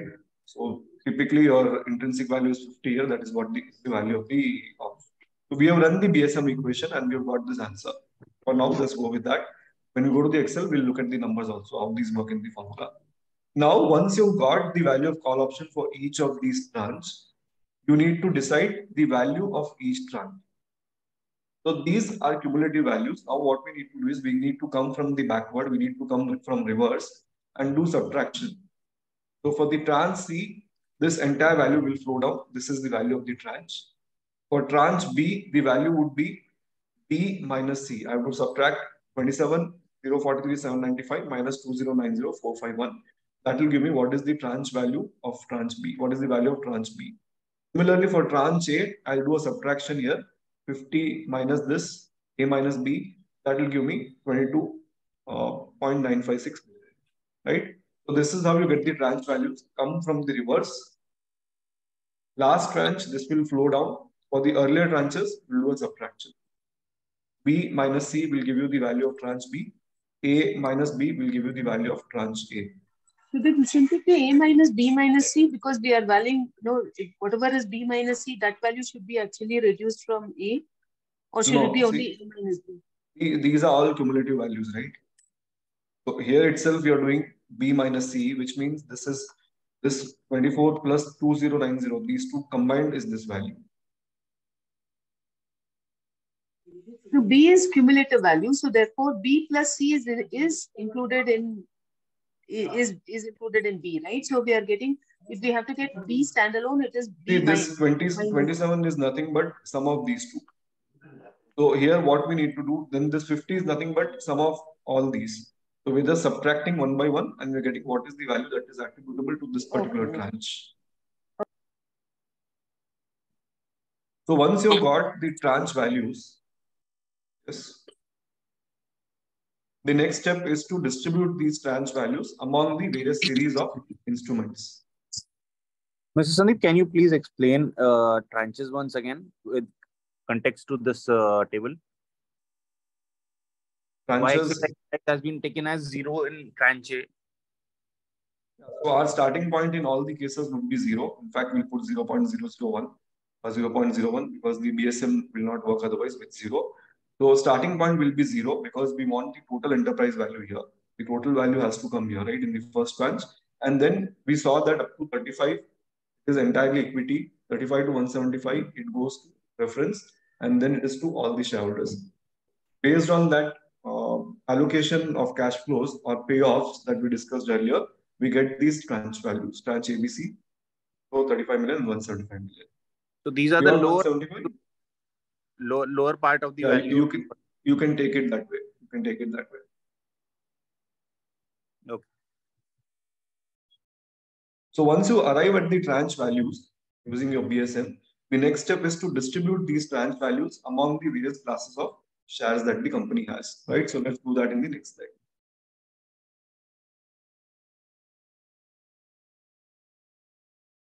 Yeah, so we need to now allocate these tranche values. Is it because of the numbers? Because uh, the value of tranche B, essentially what we are saying is that the total investment of 50 million, you are distributing it at various points of time when the value of the enterprise value moves from 0 to 175. So when the enterprise value is zero, the risk is the highest. And when the enterprise value touches 35, the risk is moderate because uh, and when it is touching 175, obviously everyone is going to convert into equity. Therefore, the lowest value is in tranche C. I'm just curious between tranche A and tranche B, and tranche A is lower than tranche B. Is it because of the numbers that See, you have that, taken? that, yeah, that will depend on liquidation preference. When would the uh, shareholders decide to convert and all of that? Typically, these tranche values will be dependent upon the liquidation preferences. Based on that, you get the exercise price, and your exercise price uh, would affect these tranche value. Okay, thank you. So once you've derived the tranche values and we all already freeze the allocations. So we said in the first scenario, 100% it goes to preference. So I've taken what how the allocation would look like. Allocation between Series A and common shares. In tranche A, 100% goes to the CCPS. Tranche B, that was from 35 to 175, 100% goes to equity. And then beyond that, it gets distributed in 20%, 80%. So that is what I've captured here, the marginal allocation percentages. Then you multiply your value of tranche with the respective percentage, you will get how much of tranche value gets allocated to Series A and equity share. So here, uh, we've just multiplied this 22.9 million with 100%, you get entire value for Series A. Second tranche, entire value goes to series uh, to the common equity shares. And in the third tranche, it gets divided in 20 80%. So we've allocated these values or uh, distributed these values based on the marginal allocations. Once you've distributed these values, you sum them, you get what is the total value that is allocated to a particular class of security. So Series A CCPS, they've got 23 million allocated out of the total 50 million, and common shares have got 26 million allocated out of the total. So this enterprise value total is 50. That 50 has been divided in this fashion among Series A and common shares. So this is one uh, simple uh, structure that we have taken, Series A and uh, common. We go to the Excel after we finish this, we'll also see how it works when there are multiple series of CCPS instruments. Uh, Actually, Okay. Small small thing. Uh, Yeah. The Series A, CCPS, and common. Okay, okay. No, nothing. These these percentages, is this what is confusing you? So these are based on the payoffs that we determined in the initial uh, when we started the case Total study. column is little confusing. Like total equity, 50 million. Total total is nothing but sum of all these. So here also it is sum of all this. 50 million. Some of these numbers will give you 23 million. Some of these value allocated to common shares for each tranche will give you the total of common shares value, 26 million. Uh, just to make it little more uh, clear, Sandeep, uh, we are doing uh, at an uh, liquidation time, uh, let's suppose valuation time at one point of time, we got uh, 50 million. And since we have two different categories of uh, like uh, these equity holders, like CCPS and common shareholder, we are projecting uh, value like in three tranches, like uh, uh, it's up to 50, up to this. Why we are not doing as of now, since at we are at liquidation point and we know the value, why we are not doing like uh, simply uh, this uh, first You you are, you 35,000 are not them? at you are not at liquidation point today. Okay, This event, liquidation event will happen sometime in future. It's not going to happen today. We So find why- out what is the value of the entity based on my future cash flows and all, and then how that value would be different different series, assuming the liquidation event happens within five years in our example. okay. So uh, what, why we are like, like doing this exercise? There must be some uh, like uh, This is done to find out how much of that 50 million could be allocated to these values. If you feel that liquidation event is now going to happen, it's almost certain it is going to happen, then you go for current value method, one of the methods that we saw earlier, where if it is a liquidation event happening tomorrow or on the valuation date, how these allocations would work. Then typically you can, I think, equally divide the values because in that case, liquidation event happens and the entity gets a higher value, you can equally divide the value among uh, CCPS or equity depending on whether they choose to convert or not. If we feel there is a time for liquidation event to happen, then we do all this PWERM or OPM methods. If we feel the liquidation event is going to happen very soon, uh, it's imminent, almost going to happen very soon, then you do a current value method. Where what you suggested would be done. You will see if today the liquidation event happens, what would be the scenario? How would, how would these values get different? Uh, uh, is it correct? Essentially, what we are saying in this is just to confirm my understanding. Uh, if I were to value equity, it is only twenty-six point six million. Because I'm getting the option, I'm valuing at fifty million. That's the interpretation, right? No, because you're getting the options and rights and everything, your series A is valued at 23 million. 50 is the total value, equity plus CCP.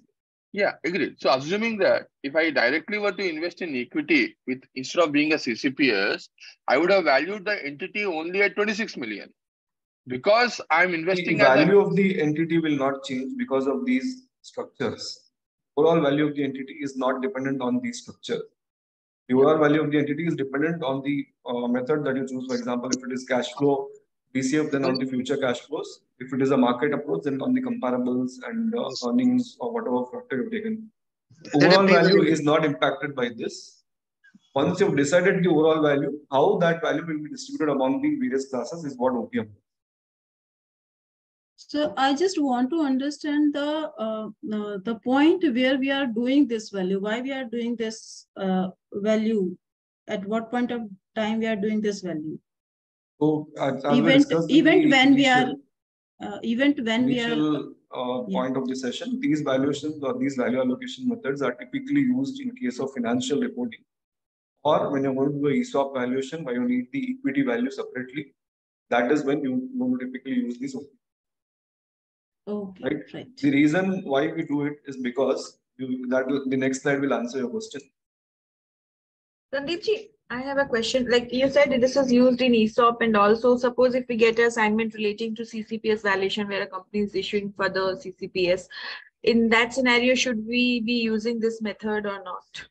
In case of issuance, as I told you, most of the cases, uh, the valuers equate all the instruments they take, Yes. everything gets diluted and what will be the value per share. If you decide to use this, you can still use it by doing a back solve. You use a goal seek and you can do this. When we go to the Excel uh, file, I'll share that with you. Okay, and one more question. Uh, in the previous slide, the values that have been allocated to CCPS and equity.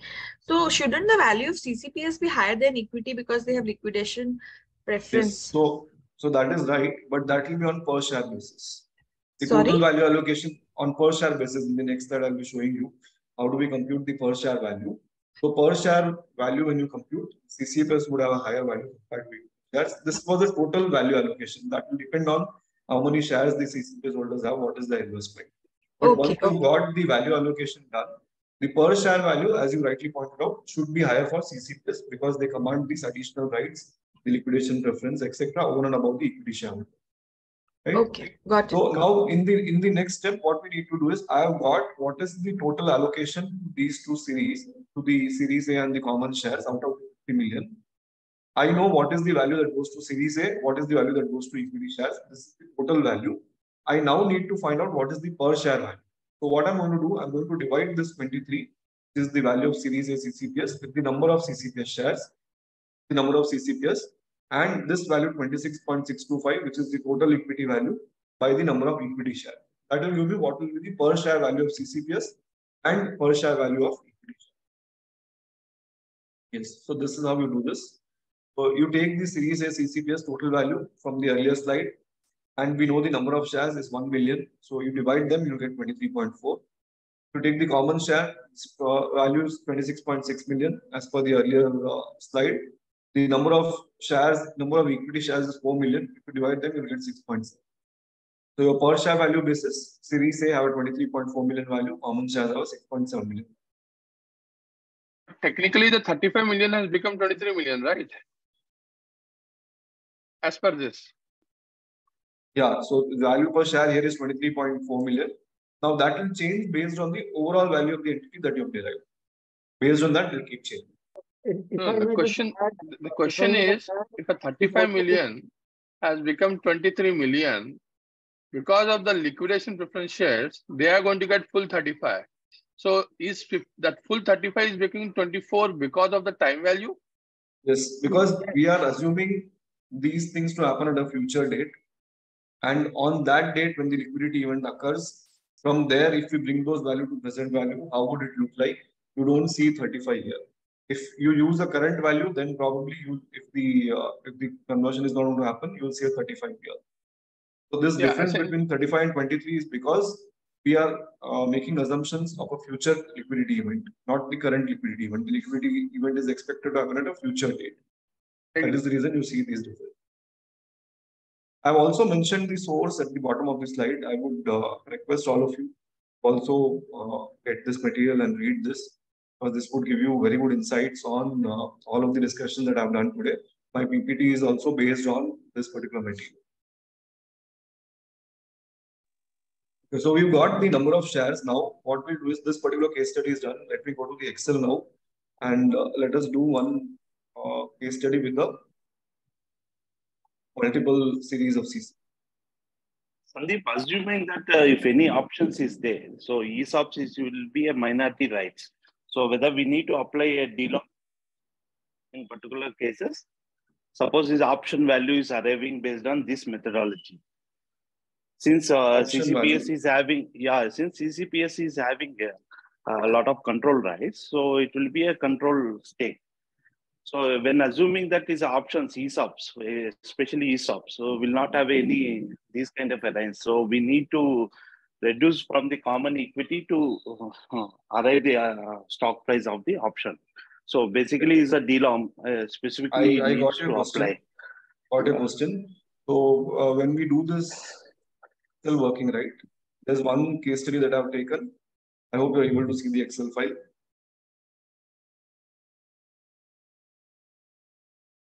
Are you able to see the Excel? Yes.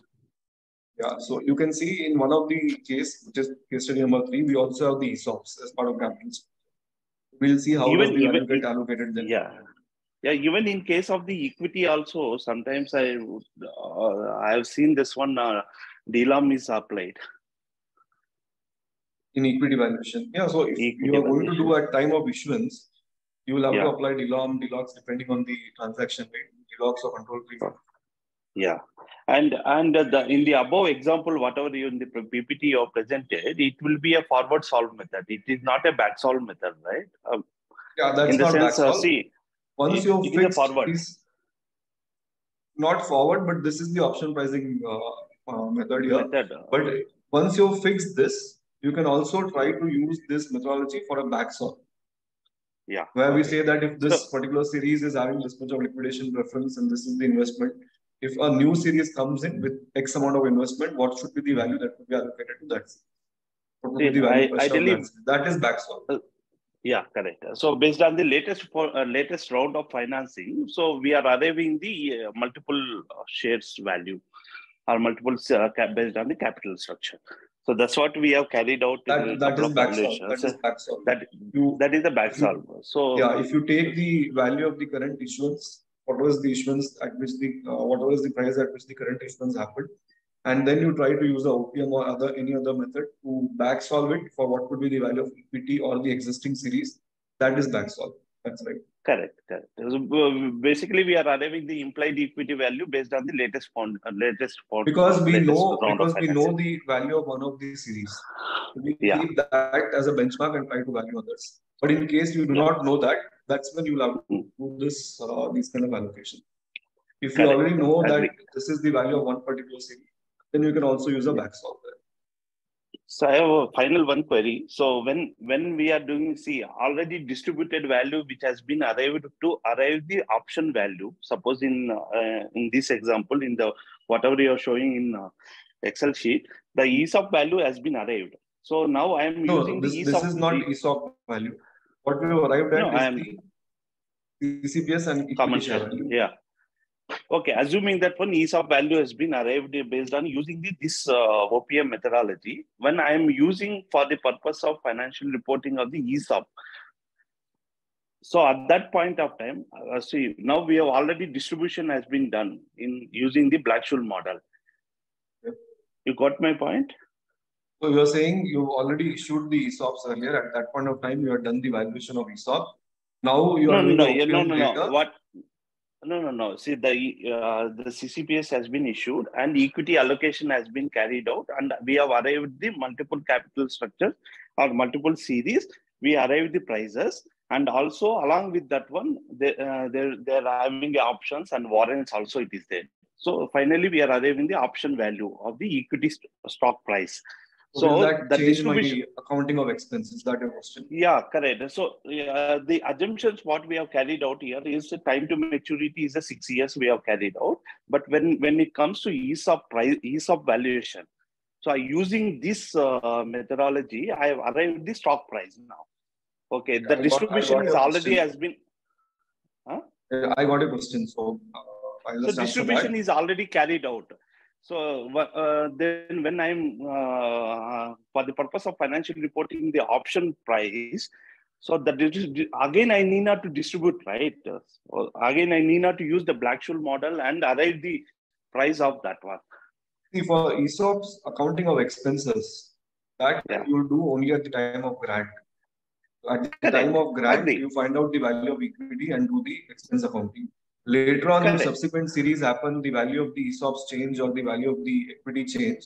That will not impact my existing uh, ESOPs that have been granted. That recognition of expense will continue in the same uh, amount that we are, uh, we had we had landed upon at the time of granting of those ESOPs. If any Assuming- new ESOP is being offered, that time these values will have to be substituted. Compute the expense for them. But my question is that, see, assuming that the issue of CCPS and the grant date is same, so I have carried out this valuation. It is nothing but the, the option price, whatever we are arrived based on the OPM methodology. So that will be the, the price for the uh, stock price, Okay. right? So if you are granting, let's say you're granting uh, the ESOPs today, then you got an equity value of 6.7. To take this Okay. 6.7, substitute in your equity shares, uh, sorry, in your BSM when you're computing the value of the ESOP with the other assumptions that you created there, that will give you the value of ESOP. So in the. So- ESOP valuation, one of the inputs is equity value, right? That is why you can Correct. take this. Yeah, yeah, yeah, 6.7, I agree. So uh, then shouldn't be a double distribution. So here also you're using BSM. And again, you, when you're carrying out the ESOP valuation, that will be a second a second time you're distributing the 6.7 once No, again. it is it is not double distribution. The objectives are different in both the exercise. Here in this exercise, we try to find out what is the value distribution among the series. There, we are trying to find out what is the value of the ESOP for the purpose of recognizing expenses. And later on, once those ESOPs are granted, then they also form part of my capital structure. And I can do a value allocation over those ESOPs as well. Taking up in one of the examples. No, I, I got it, but I am just assuming this one, it is going to be a double distribution because we have already carried out uh, to arrive the 6.7 as a, once again, as a distributed price. No, So no, again, it is not we double carrying out. distribution because when you did this allocation, ESOP was nowhere in the picture in the number of shares. We have not distributed any value to the ESOP.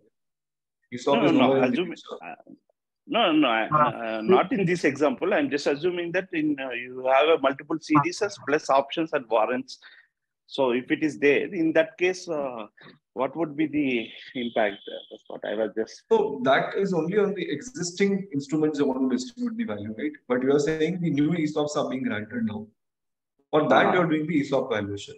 The allocation that you do here is on the existing series, which is already there in the capital structure.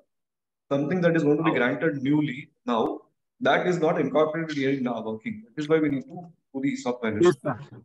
Okay, okay, got it. Uh, in my case, it is in my case it is inclusive of uh, complete cap table. So including of future dilution also, which we have incorporated. Okay, got it, sir. Thank you. So this, I'll be sharing this Excel also with uh, the participants, the PPT as well, the BVA, and share it with all of you. So this first sheet is nothing but the same example that we saw on the slide. So if in case you're not comfortable with the slide numbers, how they've been arrived, you can go back to this uh, Excel sheet and refer it. I'll not uh, get into this again. We've already done this PPT and these are the values that we arrived at. Right? The workings are in the Excel. I'll be sharing this Excel with all you. What we'll now do is, uh, in whatever time is left with us, we'll try to look at a capital structure with, which has more than one series of CCPS. So we saw in the previous case with one series of CCPS, how will you distribute? If there are more than one series of CCPS, how the value allocation will happen? Let us understand that. So in this example, you can see we have these classes of shares. We have equity share and we have series ABC. Uh, these are the three series of CCPS. The investment amounts are given here. So these are the amounts they invested when these instruments were issued to them.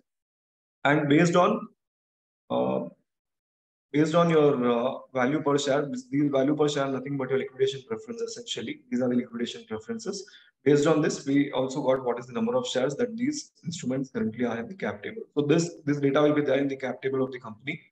Uh, you can uh, take it from there. So we have these series, this set of uh, instruments in the cap table. Now, another point is that all investors have liquidation preference equal to their investment. Whatever amount they've invested, that is the amount of liquidation preference they have, was not equity for these preference share. And there's also seniority of instrument. So in case there's a liquidation event and liquidation preference has to be distributed, Series C would be the topmost, then followed by Series B and Series A. So this is the seniority. Series C, which was the last series, would be on the topmost in terms of seniority then series B, and then series A, right? So this is fine, the seniority part. Okay. So now let us understand in this kind of a capital structure where there are different series and different liquidation preferences and also a seniority among these series, how would our breakpoints be decided?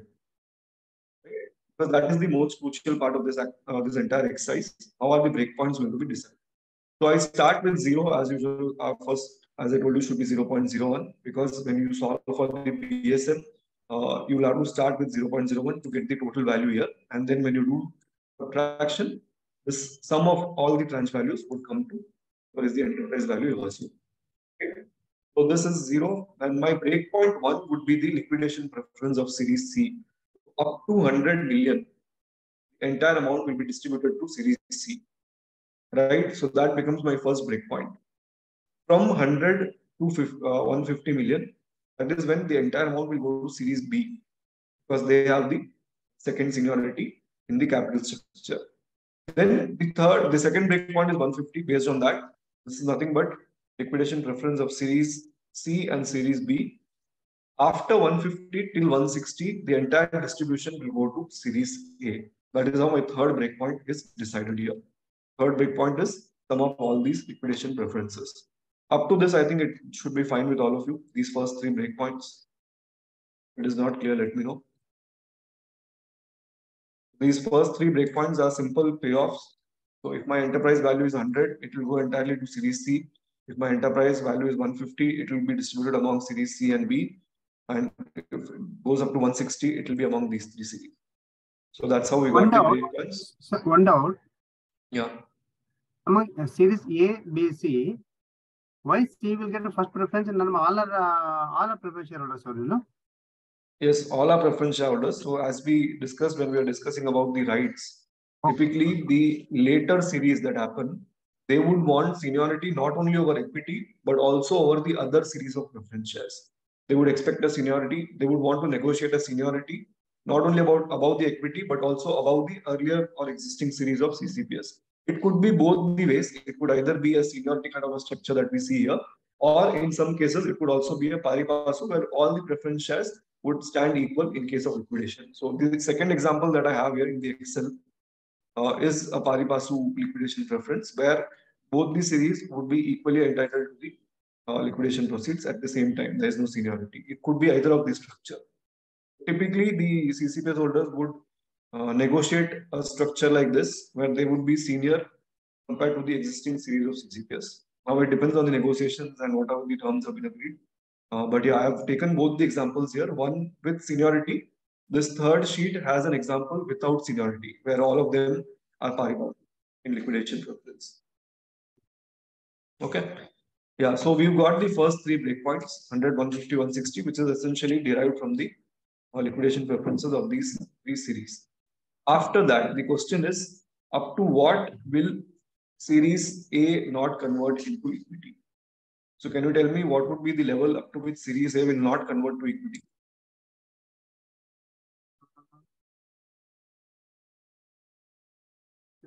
repeat, sir? Up to what point will series A, up to what enterprise value will series A CCPS holders not convert into equity? They would decide to take their preference, liquidation preference.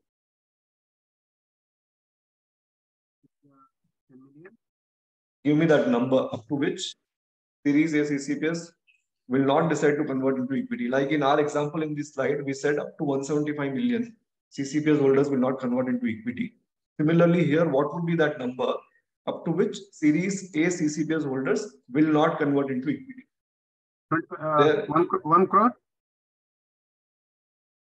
One crore. How did you get that?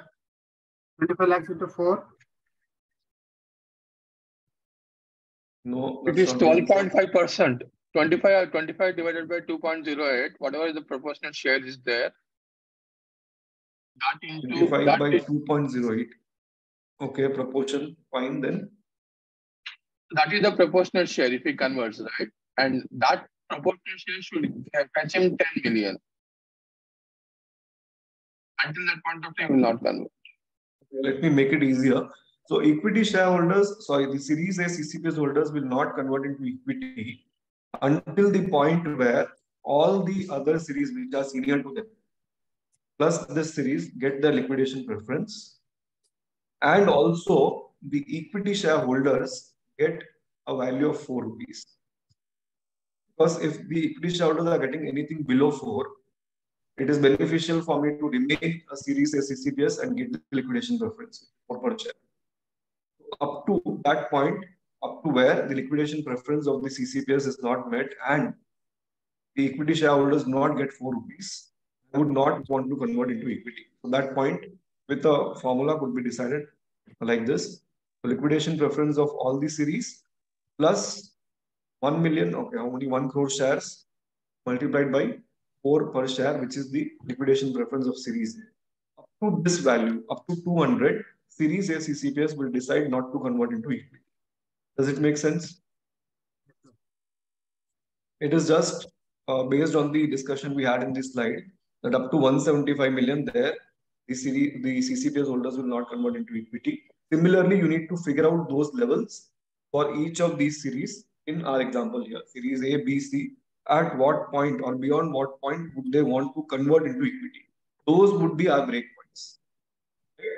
So for series A, it is 200. For series B, it is going to be liquidation preference of uh, these two series plus until both the equity and series A get a value of 12 rupees. To that point, series B will not convert into equity.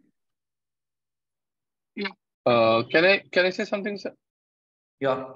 Yeah, I think once for Series A, uh, technically they are the first ones because B and C come later after the liquidation preferences are over. It is 25 divided by 125.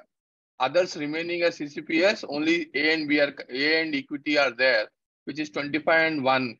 So that is 25 divided by 125 Yes, is. but any any value will come to them only after liquidation preference. Yeah, I agree C, that. I agree that. A is met. I agree that. So 25 divided by 125 is 20%.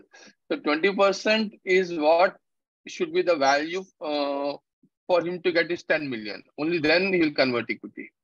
So therefore you got 200, right? I don't get that percentage concept which you're talking about. Uh, but you need to look at beyond which point they will convert into equity. So they will convert into equity only when these two set of people are able to get four rupees at least. Beyond that, only they'll be converting. And these guys get their liquidation preference. So up to that point, till when they get the liquidation preference and these shareholders get four rupees, they would prefer to be CCPS. Beyond that, they, it will be beneficial for them to convert into equity because they will start getting something more than four. So that's how this number has been derived. Similarly, for series B, they will convert after the liquidation preferences of these two are met and both equity and series A get a value which is 12 rupees. Up to this point, they will not convert. After this, it will be beneficial for series B to convert into equity. Series C, it will be liquidation preference of series C itself and then until these three securities get a value per share of 24.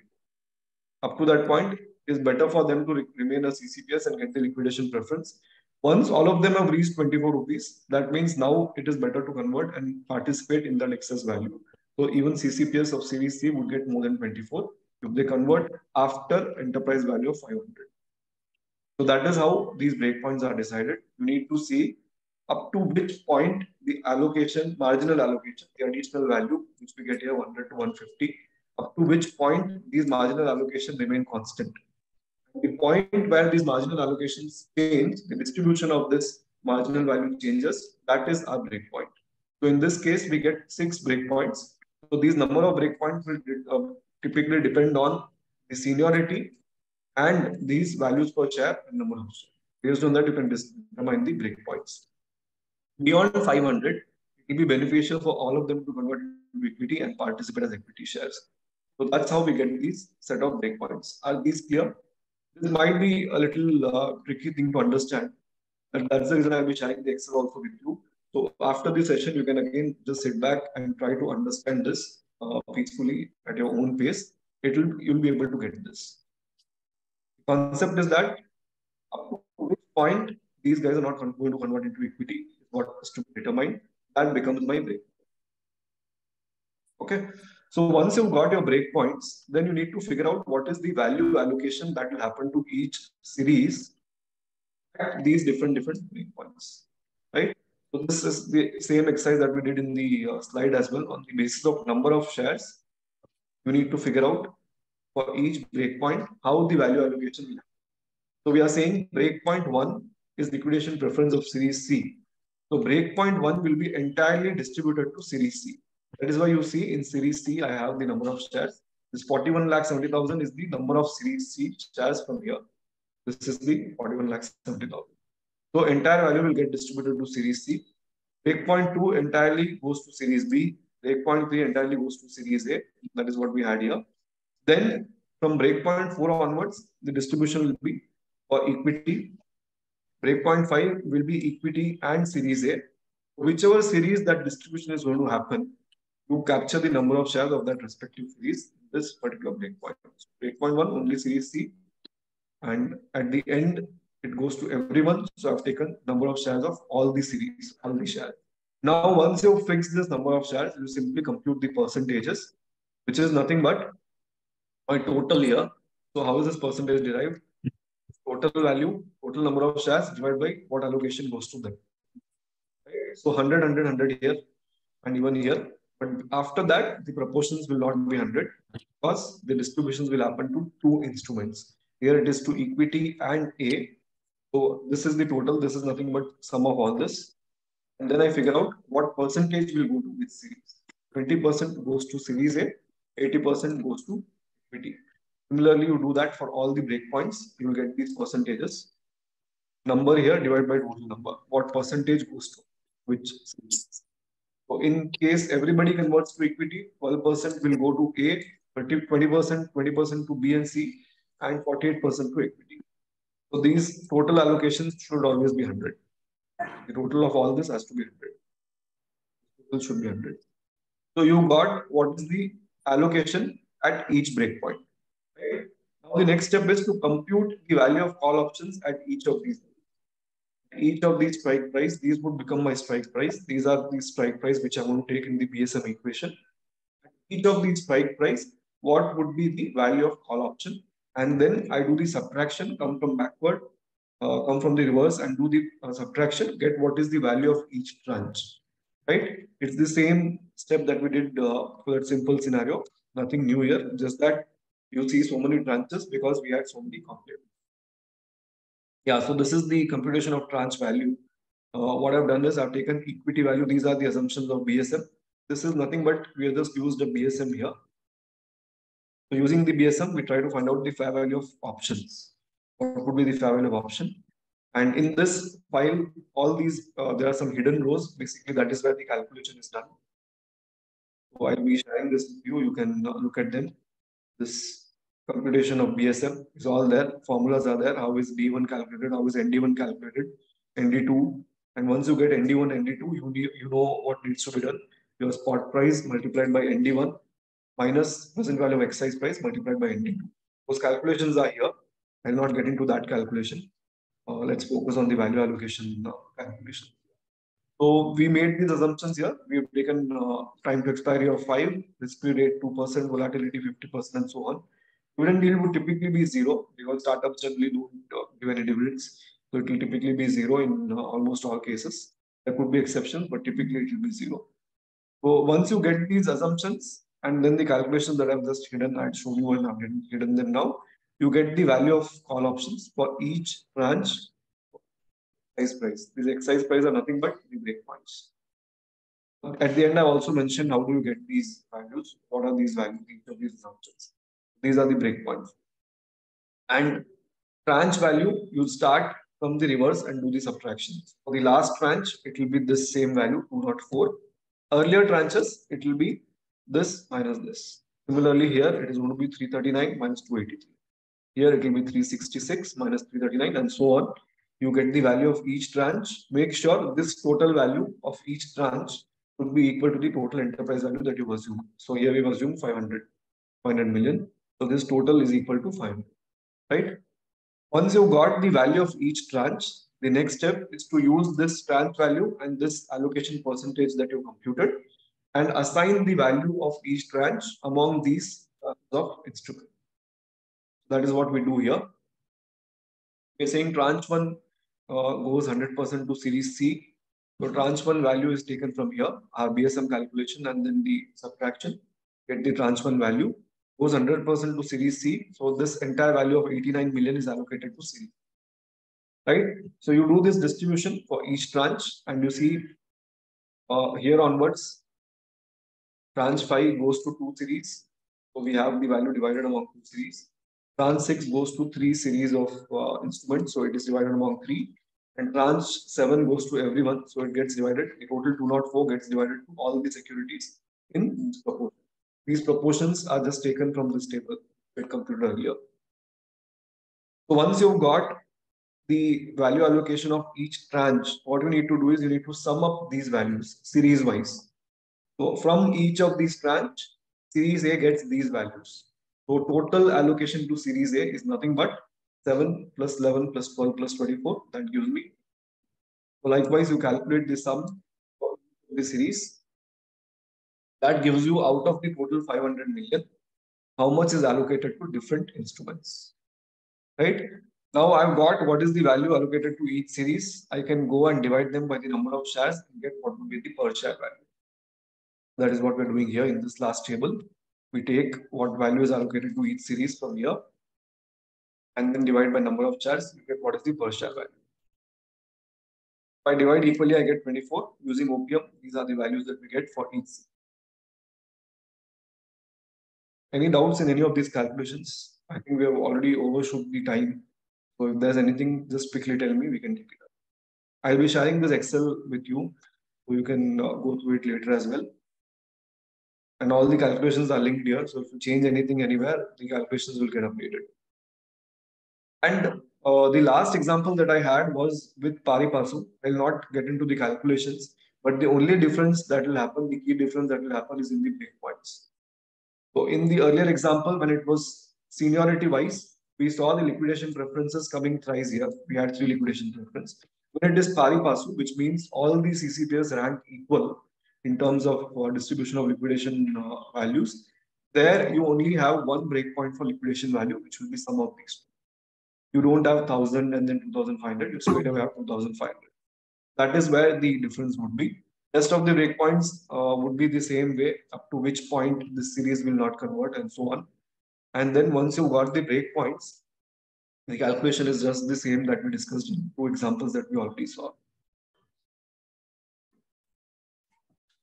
Okay so i think uh, i've broadly covered what i wanted to cover in the session today. We just a little bit overshoot the time so if there is any question, you can take them up quickly. Uh, sir, so in this uh, OPM method, we have uh, incorporated uh, two rights of the uh, two economics right, right? Uh, one is preferential distribution and second is um, the second We have taken the liquidation preference. That, that is what we took preference. Yes. A- and the the the thing liquidation preference and one more right here. Rates. And, and the, uh, their, their preference. Conversion rights and liquidation seniority. preference is what we've taken. Yeah, into yeah, right. here. Conversion right and liquidation preference right. We have Okay. considered both, right? Yeah, we've taken them into account. So see, there are uh, some more uh, methods that you can use like Monte Carlo simulation, etc.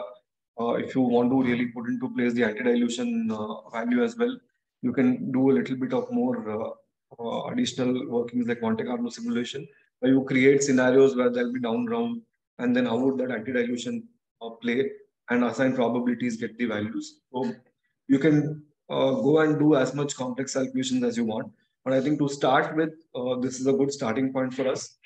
As our practice develop in this area, we can uh, explore more and do more of it.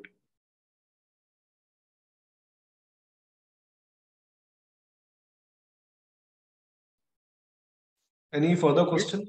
Yeah. Yeah, any other questions from the members?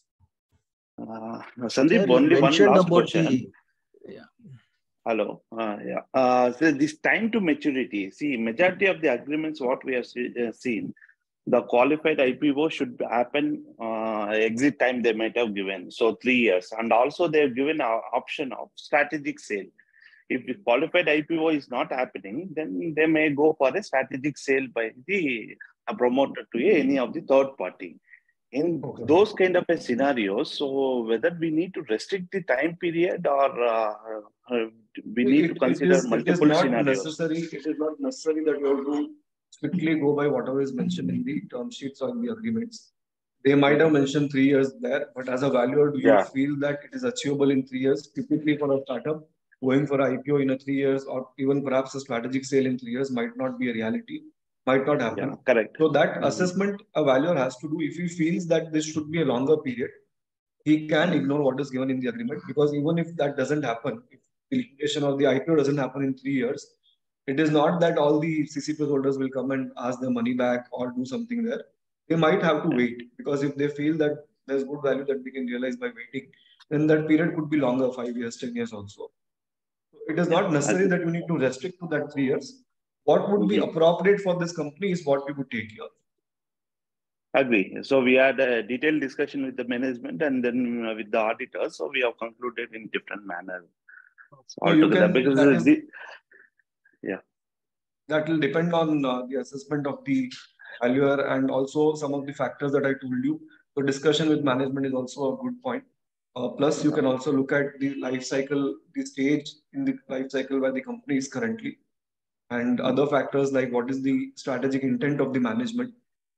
See, sometimes it is possible that you can go for IPO even today, but the management might not have that strategy. They, I mean, the, the strategic call that they might have is we'll wait for another five years probably that is the time when we'll get a better valuation. So those inputs needs to be incorporated when you try to freeze this uh, time to expiry. Uh, but of course, I mean, you cannot say that there is some scientific formula by which I'll get this always. no no Most it of is the a times qualitative it is- assessment Exactly, it's a qualitative assessment, and you try to incorporate as many factors as possible. okay Yeah, uh, I think we can stop. Okay, that uh, further questions. Maybe we are running out of time. And Sandeep, okay, it's very uh, useful, very excellent session. Okay, on this uh, valuation of different uh, sectors. Now I request uh, Chandrasekhar to give formal vote of thanks. Thank you, Mr. Venkat Subara. Uh, I take this opportunity to thank the speaker, uh, Mr. Sandeep Kothari. Mr. Sandeep Kothari, the excellent, one of the excellent session among uh, which we- we had recently. And you started valuation complex securities, you started the valuation, of various parameters and the purchase uh, SHAs, economic rights, and also this um, contractual rights, and went on explaining all the provisions. At the end, we overshot the time. I think the session was much beneficial to all the members, and I thank you on behalf of um, uh, BVA members and all participants. This is one of the session. I think members got enriched good knowledge, and uh, I also thank BVA for organizing an excellent session. And maybe we, BVA can think of uh, few more sessions uh, within the same series. Yes. Yeah, uh, thank you, uh, Mr. Sandeep Kothari. Thank you, participants, and thank you, BVA organizers. uh. Yes. Thank you, thank you all of you, and uh, thank you BVA for giving me this uh, opportunity to uh, come and share this particular presentation today. Yes. Thanks a lot, all of you, for your time and uh, patient listening. Also, Mr. Sandeep Kothari, I think there are many people are request, as you confirmed that many people are requesting in the chat, uh, your presentations and I also Excel links. I hope, uh, I think you. I'll, I'll share that. I'll share that with BVA. Yeah. Thank Uh, you. San- yeah, Sandeep, this is a small memento from us and we will courier to your address. And I request uh, to share the presentation and the Excel sheet and we will uh, uh, upload into our web- BVA website and we'll share to the BVA members and for everything benefit. Thank you, I'll Sandeep. Thank you very much. Thank you. And, and have a great weekend for everyone. Thank you. Yeah, wish you the same.